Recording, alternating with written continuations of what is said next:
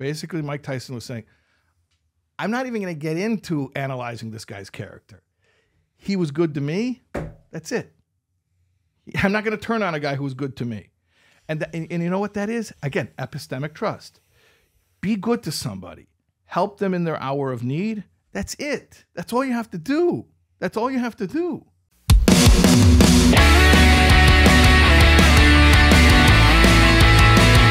Right, everybody, welcome to episode. I believe this is going to be 32. Uh, very special guest here, one I've been literally trying to get for like three months. Been but chasing me. I have been chasing you, Rabbi. But I gave you a hard time. I gave you the runaround. you did daughter's knew. wedding. That's- daughter's wedding. right. Hanukkah. You you were throwing out all the, the All classics excuses. at me, and I managed to you know just calmly and smoothly circumvent them. Whatever. and now I'm here. Now you are here. We we, um, but okay. A couple things before we start. Number one, um, if you're watching this, please subscribe, like, and comment, guys. You're not subscribing, liking, and commenting enough. I see the views, like I see it, and we only have like two thousand followers, and The there's like, algorithm loves the engagement. We got to subscribe, Like- like, and comment. and you know this because you have a YouTube pod, like a YouTube uh, channel. I'm sorry. yeah, we'll talk about that. Yeah, we're gonna get there. Let's the other thing, take care of your. What's, La- second thing, uh, this pod is sponsored by ENA Tax Advisors. ENA Tax Advisors is a tax strategy uh, company that helps you limit your tax liability. Um, if you are a 1099 employee or self-employed, uh, please reach out to Ellie uh, from um, ENA Tax Advisors. That's E-L-I at certifiedtaxadvisors.com. It will show up here as well. I've used them. Uh, if you follow me, I've, it's probably a broken record, but I've used them myself. Uh, truly saved me a lot of money. And people, by the way, are telling me that they actually reached out to me and he was extremely helpful. So uh, it's free consultation. If it's something you're interested in, you think you need help with, definitely reach out. Um, okay, so to our guest now, we have with us um, Rabbi Shais Taub, who I really, really, I got to know you through Instagram. We all did. And okay, we are all very big fans, Rabbi. but we're neighbors. We are neighbors as well. You're from Cedarhurst. I'm from North Woodmere. no, we're not really. I'm not from Cedarhurst, and you're not from North Woodmere, but we. We live, we reside That's right. at the moment. Yeah. Um, so the number one thing that we, we You know who I saw last night? I was in Crown Heights. who's that? It's okay if I interrupt you. Please. I know Yeah, it's your podcast. you're the guest. No, you're the I'm guest. the guest. So, You're the guest. Free, free reign. So you could edit this out. I don't know if we're allowed to mention the competition. I saw Yaakov Langer last night in Crown Heights. Yaakov he also Langer. lives in North Woodmere. He lives on my block now. He lives on your block. Can I tell you something? North Woodmere is like the Jewish podcasting capital of the world. and then I was. Can I also say I was? uh, I was on. Um, with Nachi Gordon, what's it called? What's his Meaningful name? Minute. Meaningful minute. Meaningful, People. people. Meaningful people. There's a shtickle breakup over there, right? That had a little I don't know anything about. it. I don't either. I was on, Machlaikas. I was on mean, uh, meaningful people. I was one of the meaningful people. You, oh, you were on that. Well, I assumed if it was called Yeah, meaningful but what number episode were you? Because that's your ranking. How Oh, meaningful you really? are. and I'm on episode 32 with you guys. So that's how, the 31 people more important than me. Okay. More mislabeled than you. More mislabeled. Oh, that's how it goes? You- Yeah, it's a good thing. It's a good I- thing. We're getting more and more correctly like you're labeled. mislabeled. Hold on. I'm mislabeled. I agreed to be on this. It means that I'm mislabeled? yes, that's how it is. We don't make the rules. That's how it is. Okay. Yeah. And you know who else is your neighbor? Who's my neighbor? A good friend of mine? How do you know everyone who lives around me? And I don't Mordechai know. Shapiro. What? He's a famous singer, but I'm not even into music. So I know he has a beautiful, beautiful voice. He's in Kodesh, right? Is that what it's called? Morty, yeah, yeah, yeah, he's in Kodesh, yeah. Beautiful shul. They sing beautiful. And uh, so I stopped there on the way to uh, the Ohel, the Lubavitcher Rebbe's Ohel, which is in Cam- uh, Cambria Heights, uh, Queens. Mhm, I've been. and uh, this is like the midway point between Cedarhurst and the Ohel. So I stopped there and I spoke at his shul and made kiddush and then continued the walk. So this is, Chabad people are not scared of walking, by the way. On Simchas Torah, on Simchas Torah, they oh. walk Oh. everywhere. like, oh, they show up to your shul. Like, where are you coming from? They're like, oh, I was in upstate New York in the Catskills. Like, what the fuck? Like, what? do you know what that is? It's called tahalucha. The, the Rebbe was very into this idea that on Yom Tov you go and you walk to other shuls and you speak at the shuls. Actually, I was just remembering recently because somebody asked me. I hadn't. I- It was a, like a forgotten memory, but someone asked me when's the first time I spoke publicly, and it was actually on tahalucha. It was, Really? Yeah, yeah, yeah. It was at a shul in Bensonhurst, somewhere on on Acharon Shel Pesach. When did you start doing shlichus? What age? Um, well, twenty nine, I think. Oh, that's old though. Yeah, I was teaching in uh, in yeshiva, and then uh, then we went on a shlichus. Yeah. But is that is that typical Eh, Everyone has different uh, career trajectories. career trajectories? I always thought that they go out like I was just in Mexico with Shmueli and A bunch of 20 year olds. They're twenty, yeah, twenty two year olds. and I thought that that was typical. 22. They're running a Chabad house, or they were No, they brought but- out Bachram to. Bochum, yeah. They have they have one they have one guy out there who's married, the guy with the orange but beard. the permanent guy. Permanent sure guy is a married guy, probably 35, 40 I years old. spent Yeah. two weeks in Berlin years ago, and the guy running Yehuda. Chabad House was 24 at the time. Yehuda Teichtal. He was he was probably 24 when he went out. How long ago did you go there? Berlin. Five years ago. Uh, was, No, no, like was more than five years ago. s- Like whoa, Jesus, like eight years ago. Yeah, yeah. He I, want, He was I very want to get into one important thing because it struck me because you actually spoke about this. Uh, I want to ask you about this. So I, I called you. We spoke yesterday or two days ago, Yeah. and you told me specifically that the one thing that really drives you a little bit insane is that people think that your hashkafas and your, and your po- talking points on you know stuff that you come across, people think you're a mental health professional. And, yeah, I do hate that. and that drives you That's crazy. It And the one me thing you don't want is to be seen as a mental health professional. uh, Professional. And my question is why? because I'm first of all because I'm not. Isn't that that that should be an adequate answer? Because I'm not. So I don't want to be mislabeled. I hear that. Oh, oh, brand awareness. brand awareness. So you don't want to. So you're saying because you're not. So why does everyone think that you are? Ah, that's a deep question. Why did they think I? I'll tell you why. I wrote an advice column in Ami magazine for eight years. Yep. Okay. And uh, I, I I don't regret that I wrote it, but it caused me a lot of problems because I had a very specific reason why I agreed to do it. I don't feel I achieved that at all. I feel like I maybe even achieved something, Worse. Yeah, like counterproductive. Yeah. Negative. Yeah. Yeah. My whole point of that I never read an advice column. I didn't even really know how to do an advice column. And Rabbi Frankfurt, uh, Yitzchak Frankfurt asked me to do it. I'm like, I don't know what an advice column is. He's like, just, just, you know, wing it. So, and I don't even know why he asked me to do it. He, I guess he, he has that. He's a good scout, talent scout, right? So somehow he knew I'd be good at. it. So I was thinking, well, how do you do it? So there's something called the Igros Kodesh. Rebbe's letters where he responds to people and all types of people, you know, rabbis and teachers and mothers and professionals and entrepreneurs and members of uh, governments. And the Rebbe's just answering whatever question they're writing to the Rebbe, and the Rebbe's answering them. Sometimes personal stuff, sometimes like big stuff, like communal affairs. And so I I just imitated the style, like a poor imitation of the style of Igros, and I was like, okay, that's that'll be an advice column. And and and I decided, you know, maybe it'll be a good way to teach some chassidus that people should learn. People should learn chassidus.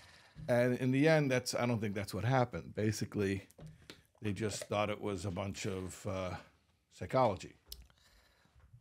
Wow. Yeah.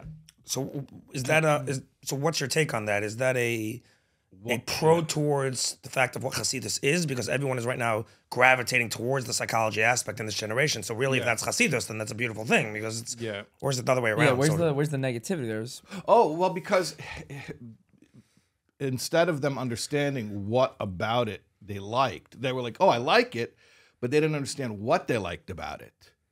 They didn't understand that what they found relevant, that, that, that there, was, there were actual insights about the inner workings of, of, of how, how, how, how we think and how we feel, instead of realizing, oh, that's frum Torah. That that's frum a holy source. That Yiddishkeit is relevant. Yiddishkeit does speak to the human experience. Instead of having that aha, they just assumed, oh, so he's a from guy. Yeah, I understand he's from. Yeah, I mean, he's he's even a rabbi. But surely all this stuff he's telling us that we're liking, that we're that we're uh, resonating with, it, it's from a secular sources. That's So it just it, it it it further confirmed whatever biases they came in with. it is funny you were saying this because Why? that is the first time I heard of you. Was Yeah. wasn't looking at on me that often, but Right. once in a while I looked at it. I saw you. I until recently getting to know them better when they talk about you, thought you were an LMSW. Yeah, for sure. Oh, Yeah, hundred percent thought you were an LMSW. right. Do you realize? I no, but to the point where Do you I have realize a how memory. insulting this I is have right a now? fake oh, it's me- enraging. Yeah, yeah, yeah. I'm trying to make it feel Raging. No, it's uh, I have like a fake memory of seen in print. I can see it in my mind's eye. Shais Taub LMSW Right. on Rabbi. Now it is LMSW. it is a Mandela effect false memory because Yes, it never yes. said that because No, it of never course. would say that because I don't have any letters after. Is my that the name. Mandela? That's the Mandela effect, right? Mandela effect Yeah. is when you remember. Well, it's actually Berenstein and Berenstein. Berenstein Bears. Yeah. When, No, no, we have to Yeah, explain yeah, what we're I talking I know the about. Berenstein Bears. No, but what meant the Mandela how you effect is- spell Berenstein Bears. People can Google these things. Listen, the references are going to go quick, and if people want to stop and they want to, I'll Roll tape, honest, roll tape. As, as someone who's part of this, I have no idea what you're talking about. you'll Google it afterwards. no problem in that case. but I, I never I never said LMSW or any other letters um, because I don't have any other letters. But that's that's the problem is that when frum people see somebody speaking about anything that's compassionate, relevant, uh, current, they're like, oh, that must come from a secular source. That guy must have some type of academic credentials. Rather than saying, oh, maybe the same Abishter who gave us the Torah is the same Abishter who created our minds, and that the insights into how we, what makes us tick, would also maybe be found in Torah. But no, that doesn't occur to people. Rabbi, first of all, I love what you're saying, and I was honestly not to toot my own horn, but I was speaking to Shmueli. Yeah, yeah. I was, uh, What was I telling you? Okay, so there's two things. There's two things here. Number one, before we get to what you told me, I think I was the first one to, and not to toot my own horn. I think I was the first one to find you. Yes. to- right. And I That'll showed you the Laibel. I, I, I was before Rosh Hashanah. It was like before you were giving it because I remember I was the one that sent you to go to the speech, and I was Yes. too tired, so I watched you on my phone in my bed, and um, it was probably like July time, and I just saw some TikToks of you, and You're sending me his Instagram stuff right already. some, yeah. some Instagram and TikTok stuff, and I I happen to like whatever. We're mental health junkies, so even if you don't, you're not an LMSW, we are self-proclaimed. So, Okay. and so you gained LMSW after you're in therapy for a certain amount for a of years. certain amount of Oh, years. Yeah, yeah, yeah. You become. You become one. it's like a common law marriage. Yeah, yeah, Like, after a exactly. certain amount of I paid yeah. more for my therapy than they did for their LMSW. I, I got something out of that. You know? We pay, yeah, look, we pay for their college education and everything else, and on time, and the house. All these therapists have such nice houses. They have like private practices, making a quarter million dollars a year or more. Like we're the ones, we're the top dollar patients. Um, no, so when I found you, one of the most beautiful thing is, and I think it's one of the things about our podcast is that um, we're very out of the box in the fact that I'm very open about. We've I've had my ups and downs with religion and struggles with you know Judaism up and down and uh, being observant or not being observant or being able to connect in certain ways. When I first found you, your insights. The I didn't say he's a rabbi or he's an LMSW, but just your insights themselves connected to everything that I was reading in psychology and everything that I was learning in therapy and everything, and it was just coming from a source that had a yarmulke on, that was a mm-hmm. that was a figurehead, that was a rabbi, and I was like, this is unbelievable because I don't know anything about your background, but everything that you're saying right now is literally connecting to me, mm-hmm. and I can connect it to Just- the fact that so just the fact that just the fact the that your name is Reb Taub, You get it. and you get it. Mm-hmm. That's all. That's and I was Right. hooked. And you didn't first- think about where is he getting it No. from. You were just like, I was just hooked. I was hooked okay. from the moment you said you said one line. Okay. You said kids. You said children don't um they don't care what you know until they know that you care. And you said that line, and it was literally everything that I've ever thought in my entire existence, like in the past ten years. People don't care, and you started talking about everyone has Google nowadays, whatever it is. Your information is not like it is in the '80s, and the, you know anyone can get anything. No, right. no one can get emotion. People go into video games. People go into comment sections. It was a whole thing, and this is where kids are kids are going there and seeking validation. And you basically right, that right. That specific video, those couple videos, I was just hooked from then. I showed you the Laibel. Yeah. He was hooked. That was it. And Laibel looks at me, and um, Laibel, as you can tell, is the intense one a little bit, and I'm Not a a- little not a little bit. and I'm a little bit more of the. I mean, right now I'm very excited, honestly, to have you here. Okay. So I'm like a little bit revved up, okay. but at the same, but but at the same time, um, one of the things that like I think Laibel's learn from me is that I a little bit like just sometimes it's just like okay, things are gonna happen in life, things are gonna do be, and just like just chill a little bit. Things are gonna like you know Evolve just and come to you. evolve and come to you, and don't you don't have to like everything is not the world's not ending, and you know. And he looks at me one day and he's like, by the way, he's like, I know your ups and downs with you know Yiddishkeit and different things. He's like, you should know that all the things that you've ever said about whatever your father's taught you. My father's a great man. He's taught me all these things about life and kindness and empathy and all these stuff. He's like, all the things that you find in psychology books and all the things that you find everything's they're sitting in Torah. You just don't know it. Mm-hmm. He's like, And You Laibel Laibel said this to me. No, I Laibel told said specifically that just to clarify the point. I was saying that if you get involved in, in Musar and, and Torah and the depth, real Torah is the depth of the human. That's really what it is. It, it's the all encompassing factor of life, the human being, and all those things. And when you dig into that, the, the- it's not just a bunch of rules. It is the aspect of the person who made man. So when you look at Torah from that perspective, and you read the Ramchal, and you read, you know, I'm sure the Likutei Sichos and all these different things, you start. It's not just what we were brought up with in yeshiva, and you start understanding that all these principles were already there. They're built in. Like, and that's All- really what you're saying. Well, if I can throw this back to you, Yeah. why do you think that people because the way you you frame this is people see something that connects to them and connects to their psyche and connects Yeah. to what's going on in their life and they assume it came from a secular source Yes. why do you think that has happened That's based on learned experience. but what is that can What we, is that what learned is that learned experience? experience and why is that It's learned an experience unfortunate. happening I mean, I, I mean, I mean, I, I, I want to tread very delicately because I'm not saying this to indict a whole culture or a whole society. Let's Chas indict. v'shalom. Why not? But Let's no, indict. No, No, because I don't think it's productive to bash, but. I, I, I'll I'll shed light. I'll shed light on a, and we could talk about We can it shed with, some light, with yeah. an aim on improving it. Mm-hmm, mm-hmm. I think a lot of times people have had an experience where their religious education um, did not resonate with them. Um, they didn't feel that it. They didn't feel compassion. They didn't feel that it was speaking to them as an individual. Maybe even they felt that they, that their individuality was being negated to, to some extent, and um, so that that just becomes their expectations. That if something is Torah, Torah is milamayla lamata. That's it. It's just it is divine wisdom coming down at you, and that's it. Take it or leave it. It is what it is. Um, and if you want somebody to sort of take you as an individual and understand what you're thinking and feeling and and relate to you, for that you have to go out of Yiddishkeit and you have to go to secular sources, and and so therefore those are the expectations that people have. That if it's relevant, if it seems like it's speaking on a on a realistic level about human experience, about feelings, about people's individual experiences, then it must be secular. So they've gotten that based on, unfortunately, they've been conditioned to to have those expectations, which is, I mean, I'll use very harsh words. It's a chilul Hashem.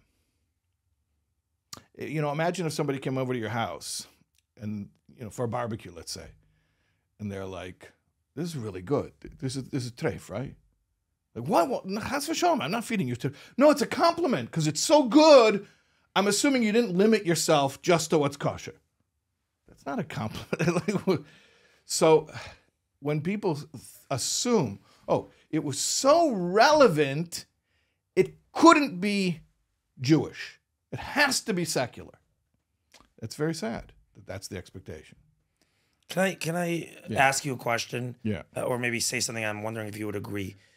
I feel like the reason why people feel like it doesn't speak to them, you know, in sales they say that you have to first sell with emotion and then with logic. If you try selling with logic Mm-hmm. first and then emotion, you get nowhere. Because the human being needs to feel something in order to agree with something. If you just tell someone something, it can make all the sense in the world if, if their heart is not there. Yeah. I feel like with with Yiddishkeit, there- we're selling with logic and not emotion for the most part. We're selling with why it makes sense that Hashem, uh, you know, created the world and runs the world, but there's some lack of compassion and, and sensitivity and emotional awareness to the people that are involved, which is what the human needs to feel. Like Shmueli said, the line Shmueli said, the human being needs to feel in order to to to to say, you know something, this feels right, this feels good. I don't feel like I'm being criticized every single second. Yeah. I feel like this is something I want to do. And and and and because we're going with logic, people are just like at a certain point they just burn out. They're just like the hell with this. This is not fun. It's not enjoyable. I want like you know. And then in order to kind of cope with that, they go to all these therapy based sources, and then they believe that the whole thing has to come from a secular source because Torah itself cannot be from an emotional place. And I think that is like you said, I in Chil Hashem, whatever you want to call it, I would indict that on the highest level. I think that is a that is the saddest thing in the entire universe. Like you know because It's a tragedy. total total tragedy. Because n- n- then not only is does the person feel isolated and, and disconnected f- w- to their family and their community, but also ultimately frum from Hashem. So they're losing emotionally, socially, spiritually. Everything. They're losing everything. All Yeah. nine yards. All in the name of become frummer. The person becomes not from. Go ahead, Zach. Well, I love what you're saying, Okay. and I'm also not trying to indict. I'm just, Okay. but I am trying to understand fully. Okay. Obviously, you're someone who who this is your your bread and butter is bringing out the things in Torah and Chassidus, which is part of Torah, all Torah that does connect to the internal person, to a modern person, to what they're actually going through, to their individuality. And Okay. But then look at look at where the religion comes from. You got to go back to the books, the OG books. But way before there's Hasidus, right? There was, there's look at Rashi Tosfos, look at Gemara, look at even Chumash. There's Okay. there's stories with moral, ethical rules in them, but one could say that if you go back and look at Tanakh and Mishnayos and Gemara, you're not necessarily going to get a lot. Like, where where is this relating to me? And you and you have to where where does it relate to me? It- it's so interesting because you- you're saying, well, if you go back before Chassidus, you just just take the the good old fashioned, the original, Good old fashioned, the classic, the, OG. the Bible, the OG. You take the Tanakh. yeah. Okay, so first of all, it's interesting because Chassidus is not like another section within Torah. Right. See, this is a lens through which all of Torah is viewed. You're reminding me. There's a there was a magazine that used to come out during World War II when Lubavitch first came to America. It was called the Hakriya Vakadusha. It was a magazine that was in Yiddish, Hebrew, and English, and it came out for American Jews. And there was an article in there. I'll just tell you one little snippet there. So it says that when a person learns Chassidus, it changes their entire understanding of all of Torah. And we could illustrate this with just revisiting the first three psukim of Bereshis. Just the first three verses of, of, of Genesis, and to understand it the way Chassidus explains it. And if you'll understand that, then from there you could extrapolate that all the rest of it takes on a completely new life as well. So it goes like this. Okay, first three verses. Bereshis es shmai ve es haaretz. Pnei tahaim. V'ruach lakim marachefas al pnei amayim. Lakim yihi oir vayihi oir. Okay, that's the first three verses of Genesis. Okay. So here's how Chassidus looks at those first three verses. Bereshis, in the beginning. The beginning of what? The beginning of your life. First of all, this is personal. This is not speaking about cosmology. This is speaking about your life. Okay? Bereshis, in the beginning of your life. Bara Lakim Hashem created two types of life, two paths that you can choose. Esa Shamayim, a spiritual life.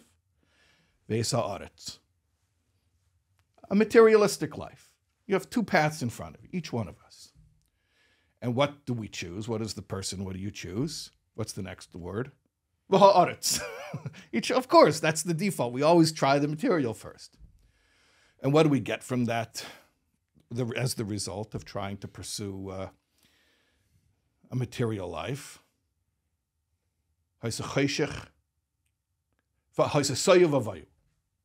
It's, how do you say it? Dark. Ta- Tayo vavayo is, is, is, is, Um, it's chaotic. It's, it's, it's confusing. It's, Mishkababel. yeah, mishkababel. Yeah, yeah. So you're pursuing materiality, and it's just you, now. Now life is confusing. And when you look for guidance, v'choshech, then it says v'choshech, v'choshech, and it's dark. And he looks at himself. Where is he? Al pnei ha'toim. He's down in Dred. He's down in the depths. This is not good.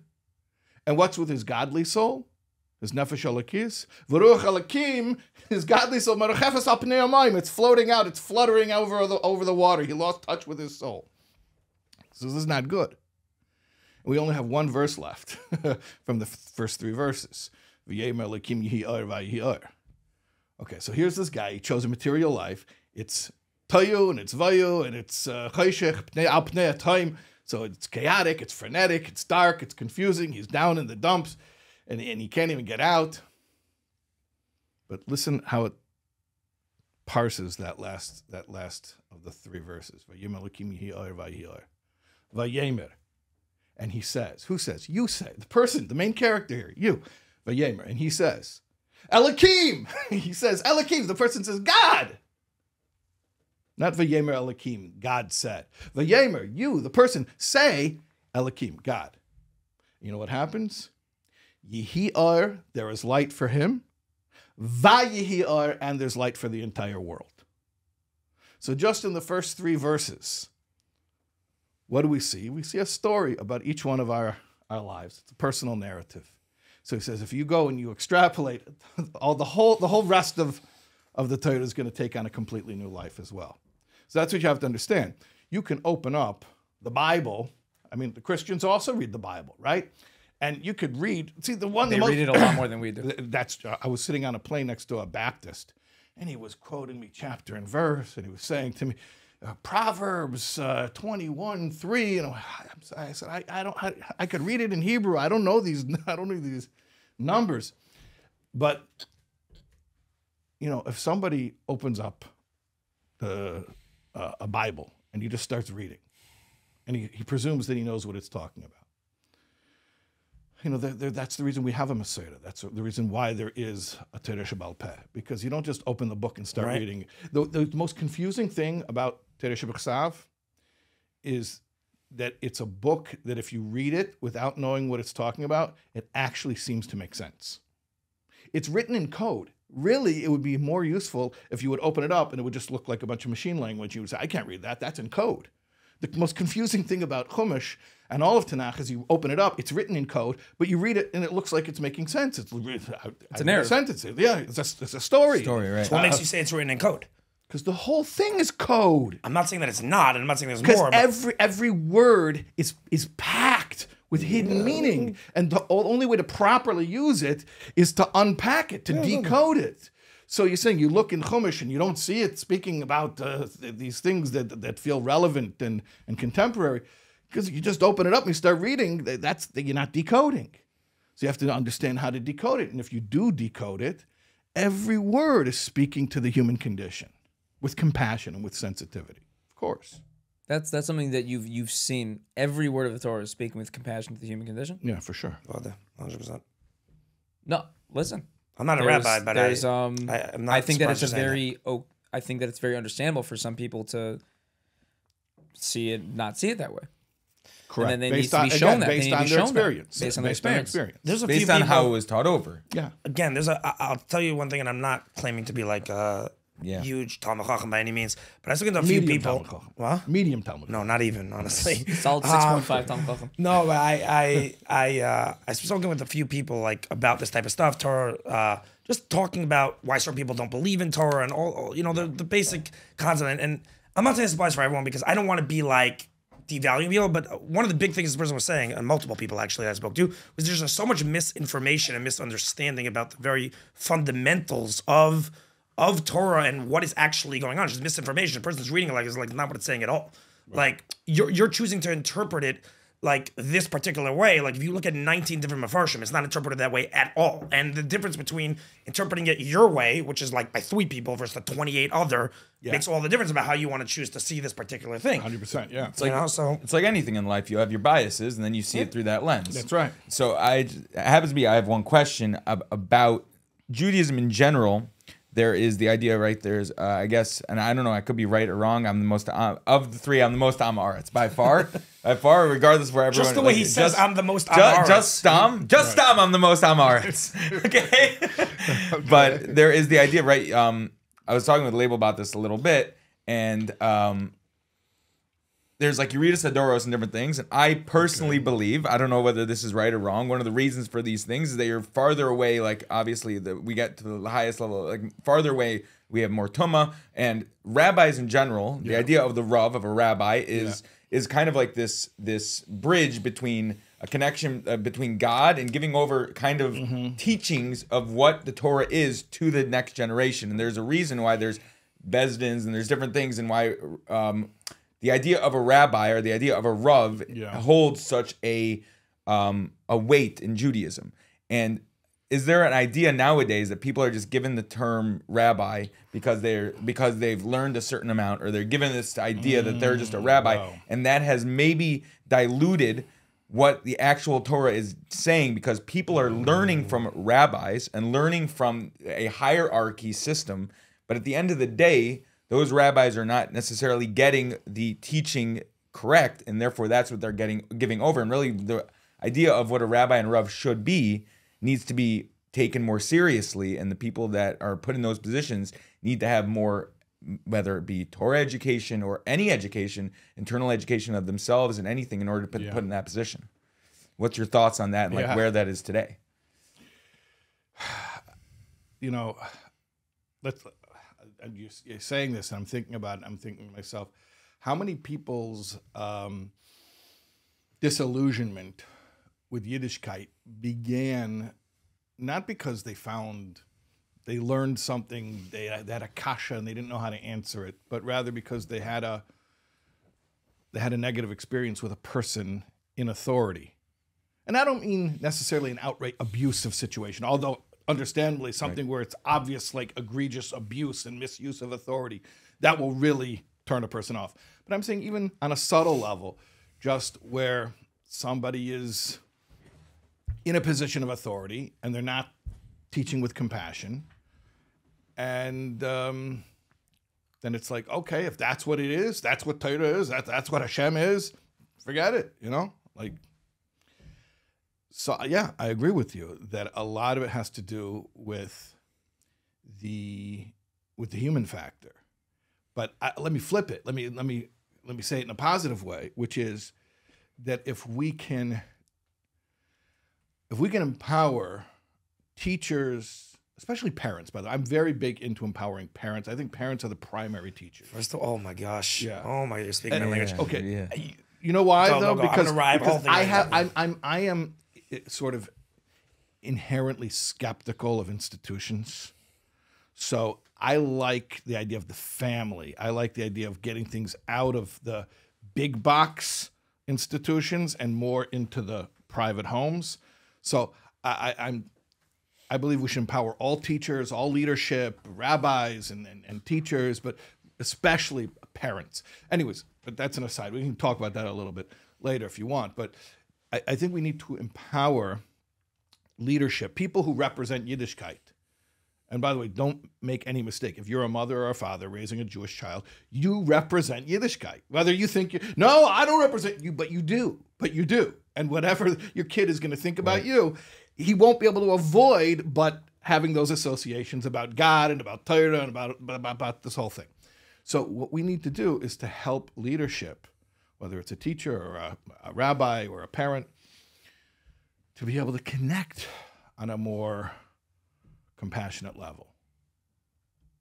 I mean, th- to me, that's everything. That's the call of the hour. But one more thing is like, um, again, I grew up, I don't know, out of town, but like, uh, I went to Chofetz Chaim, and like the idea of getting smicha and things of that nature is knowing Yoreh De'ah, right? You know your Right. day, you know it enough, you know this. You, if you know, if you can, The fleshik spoon falls Right, in the if you- pot, and that's a rabbi. if you can spit out enough By halachas the from way, your I day became a inside, rabbi. When I when I Yeah. became a rabbi, what did I get tested in? Yoreh De'ah. right? There are so many disenfranchised people that I know right now that grew up from went to yeshiva systems that uh, the the term rabbi gives them such It's a trigger. It's a trigger. oh my gosh, you have no idea because they think they're all full of shit. Sorry, excuse my language, Rabbi, but that's the truth. They they they feel that way, and the reason they feel that way is because, and, and honestly, uh, props to, uh, in, in genuine like to the Chofetz Chaim system. The one thing I'm not saying they do it, but the one thing that they at least claim is Torah or Musar. That's their thing. Musar, Musar, Musar, Musar. Now again, I'm not here to say they do it, but at least the concept. Meaning, to me, it's very nice. You know, You're well, saying it's at not least you know- just memorizing. Right, the it's not just your rituals. day. Right. because who cares? By the way, Right. I'd say the other way around. Forget about the Yoreh almost. If you want to keep someone on the derech, like we went back before, you need to your your sensitivity, your compassion, your connection to the human, for sure at a childlike level, a teenage-like level, when those formative years, you need to emulate. It's like right. How do you teach? You teach best by action, right? So very nice. You told the kid the halachas, you hold it cold, but you know something. If you're treating them like a piece of garbage and you're not with them in their space, right? That person's the the, the, the representation, the response they're gonna have to Torah is gonna be a negative You, one. you right? know, you know that that clip that you saw. You said you saw on Instagram. Yeah. Okay, so I know the clip that you're talking about, and I was talking about if my kid grows up and gets in trouble, I don't want her to say, "Oh no, my dad's going to kill me." I want her to say, "Oh no, I better call my dad." Right, same yeah. clip. Okay, Yeah, yeah, yeah. fine. Which wasn't even my quote. I heard somebody say that. I thought it was perfect. All right, and I said, children need to feel safe with us. And, uh, and and I also said that quote that you mentioned. Uh, People don't care what you know No, until you know that they you care. Until they know that you care. Know that right. care, okay. So, um, about the idea of children feeling safe. So somebody commented on that clip, the same clip that you were talking about. Um, some uh, psychologist, an actual psychologist, a woman who has an Instagram account. She's an actual her name? psychologist. I don't I don't remember, but she had like hundred thousand followers, so she must be good, right? Okay, so she must know what she's doing. I have ten thousand, so We only know a tenth of what she knows. So exactly. I was gonna say other like doesn't mean I know what I'm talking about, and I have ten thousand. But yeah, anyways, So, go on. yeah, I mean, I'm, I'm assuming she has some credibility. At, at any rate, but she she left a comment on that clip, and she said, "This is um, the definition of epistemic trust." Now, I didn't know what that word meant. Don't get intimidated. I didn't know it either. So, but I was like, okay, I'm going to Google this. What is epistemic trust? And then, I, then once I looked it up, I realized because I I I knew the word ep- epistemology. Epistemology is a branch of philosophy which studies the nature of truth. How do you know what's true? So epistemic trust means how do I know? You used an expression earlier before, which I won't repeat, but I said somebody is full of it. Okay. You you, you spelled it out, but Yeah. okay. How do I know you're not full of it? Epistemic trust means that I believe that if you tell me something, I can reasonably expect that it's true. That's epistemic trust. So she said, what, her comment on my my my clip was what you just described as epistemic trust, meaning, how is a child going to receive a chinuch from you if they don't feel safe with you? They have to have a certain amount of security in the relationship to say, this person is looking out for me. This person has my interests at heart. And then they could relax and then they can be mekabel. Right. They can receive from me. That's called epistemic trust. So one, once I read that and it clicked, the penny dropped. I said, now I understand what the Kuzari says about how Hashem introduced himself at the Aseret Hadibros at, uh, at uh, Matan Torah says, what's the first thing Hashem tells? Us? The first of the Ten Commandments. First thing Hashem tells us. I am the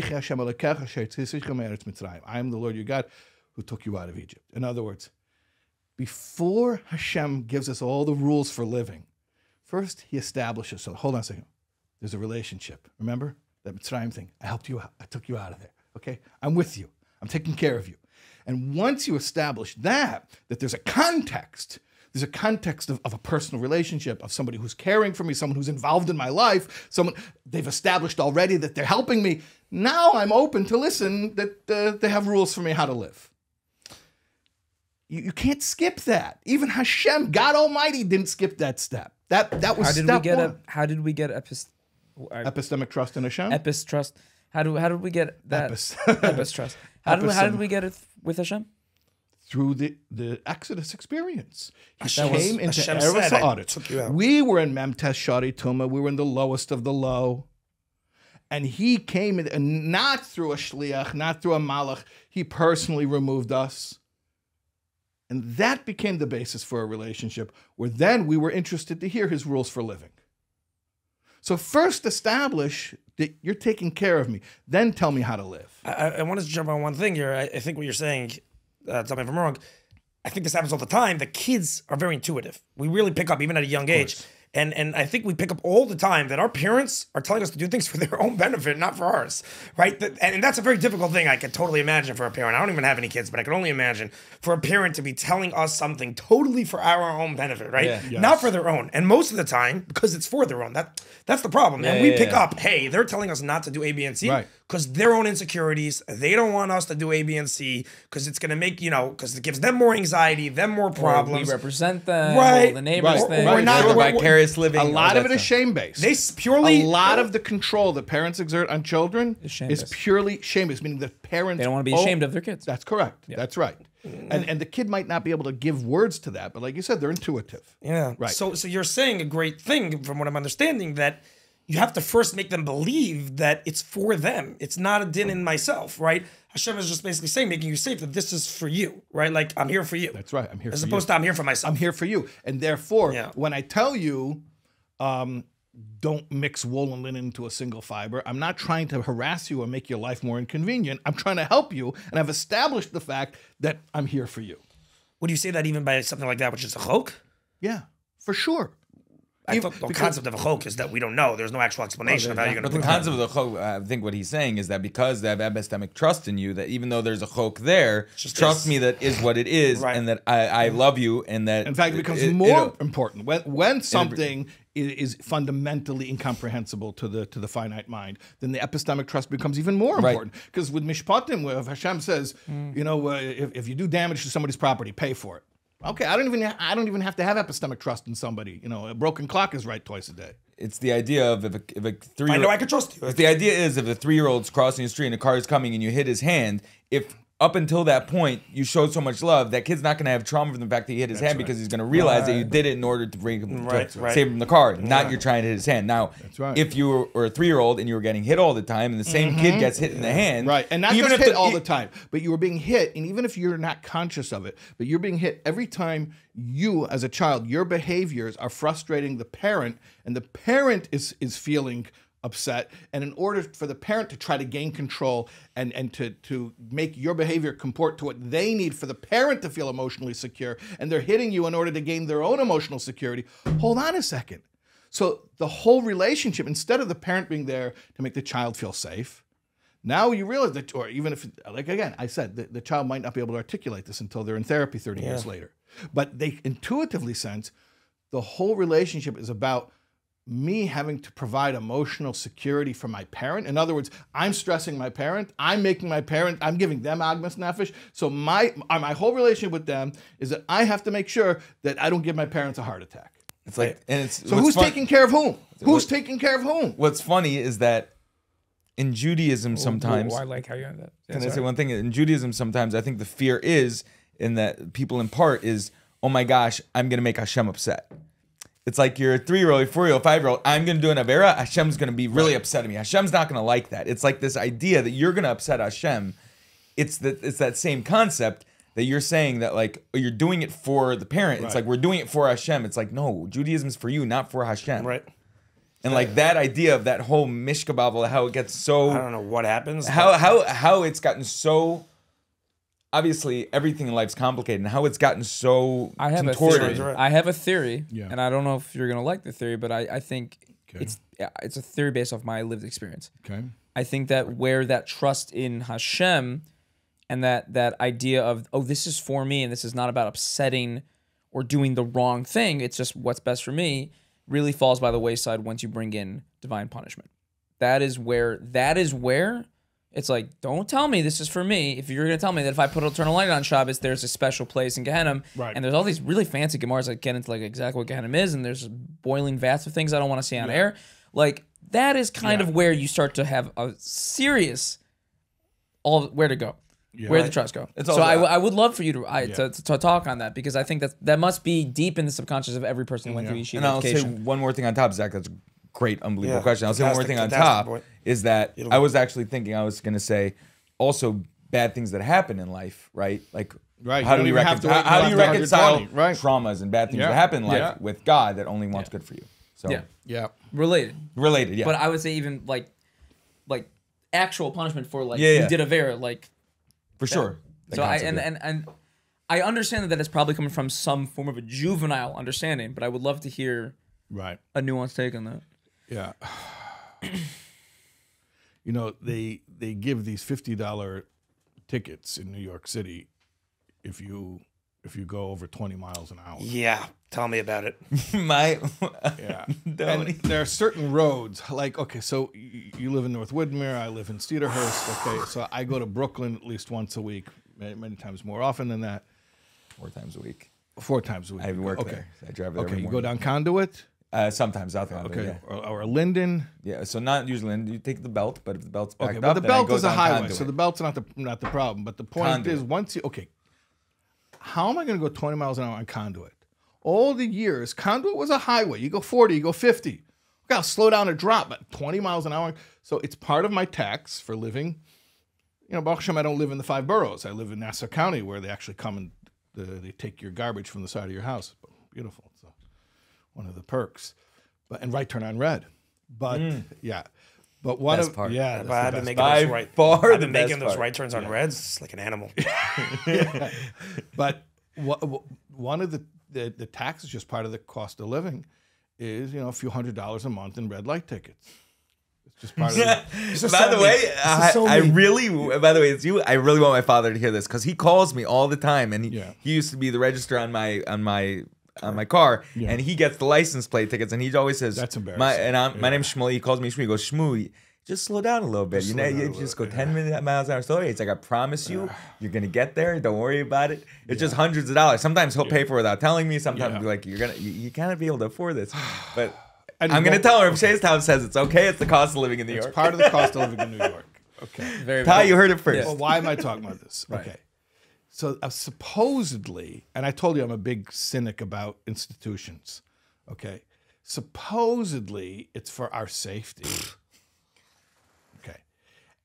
I, I, I looked it up. I think they're making $15 million a month Of course. on those tickets. Wow. Okay. So if Nice racket. if it's a racket, if they cared about our safety, I don't know, get speed bumps. Put more red lights up. But why do they have these tickets? The only thing they do, they're extracting money from. They care us. about our safety. You could take fifteen million dollars uh, a month and pay for a lot of people's health insurance. Yeah. That, okay. Right. If they really cared, They about really it, cared about right. your your well being. That's right. A hundred. Pay for my therapy. That's right. That's right. Not That's my right. tickets, yeah, Yeah. yeah. Yeah. So why am I why am I mentioning this? Yeah, why not? Yeah. Okay, because let's say as a parent, I want to influence my child's behavior. Let's say there's a behavior that I think is an undesirable behavior. Um, and I want my child to do this anymore. So what do I do? I disincentivize it by punishing them for that behavior. What, what, what am I teaching them?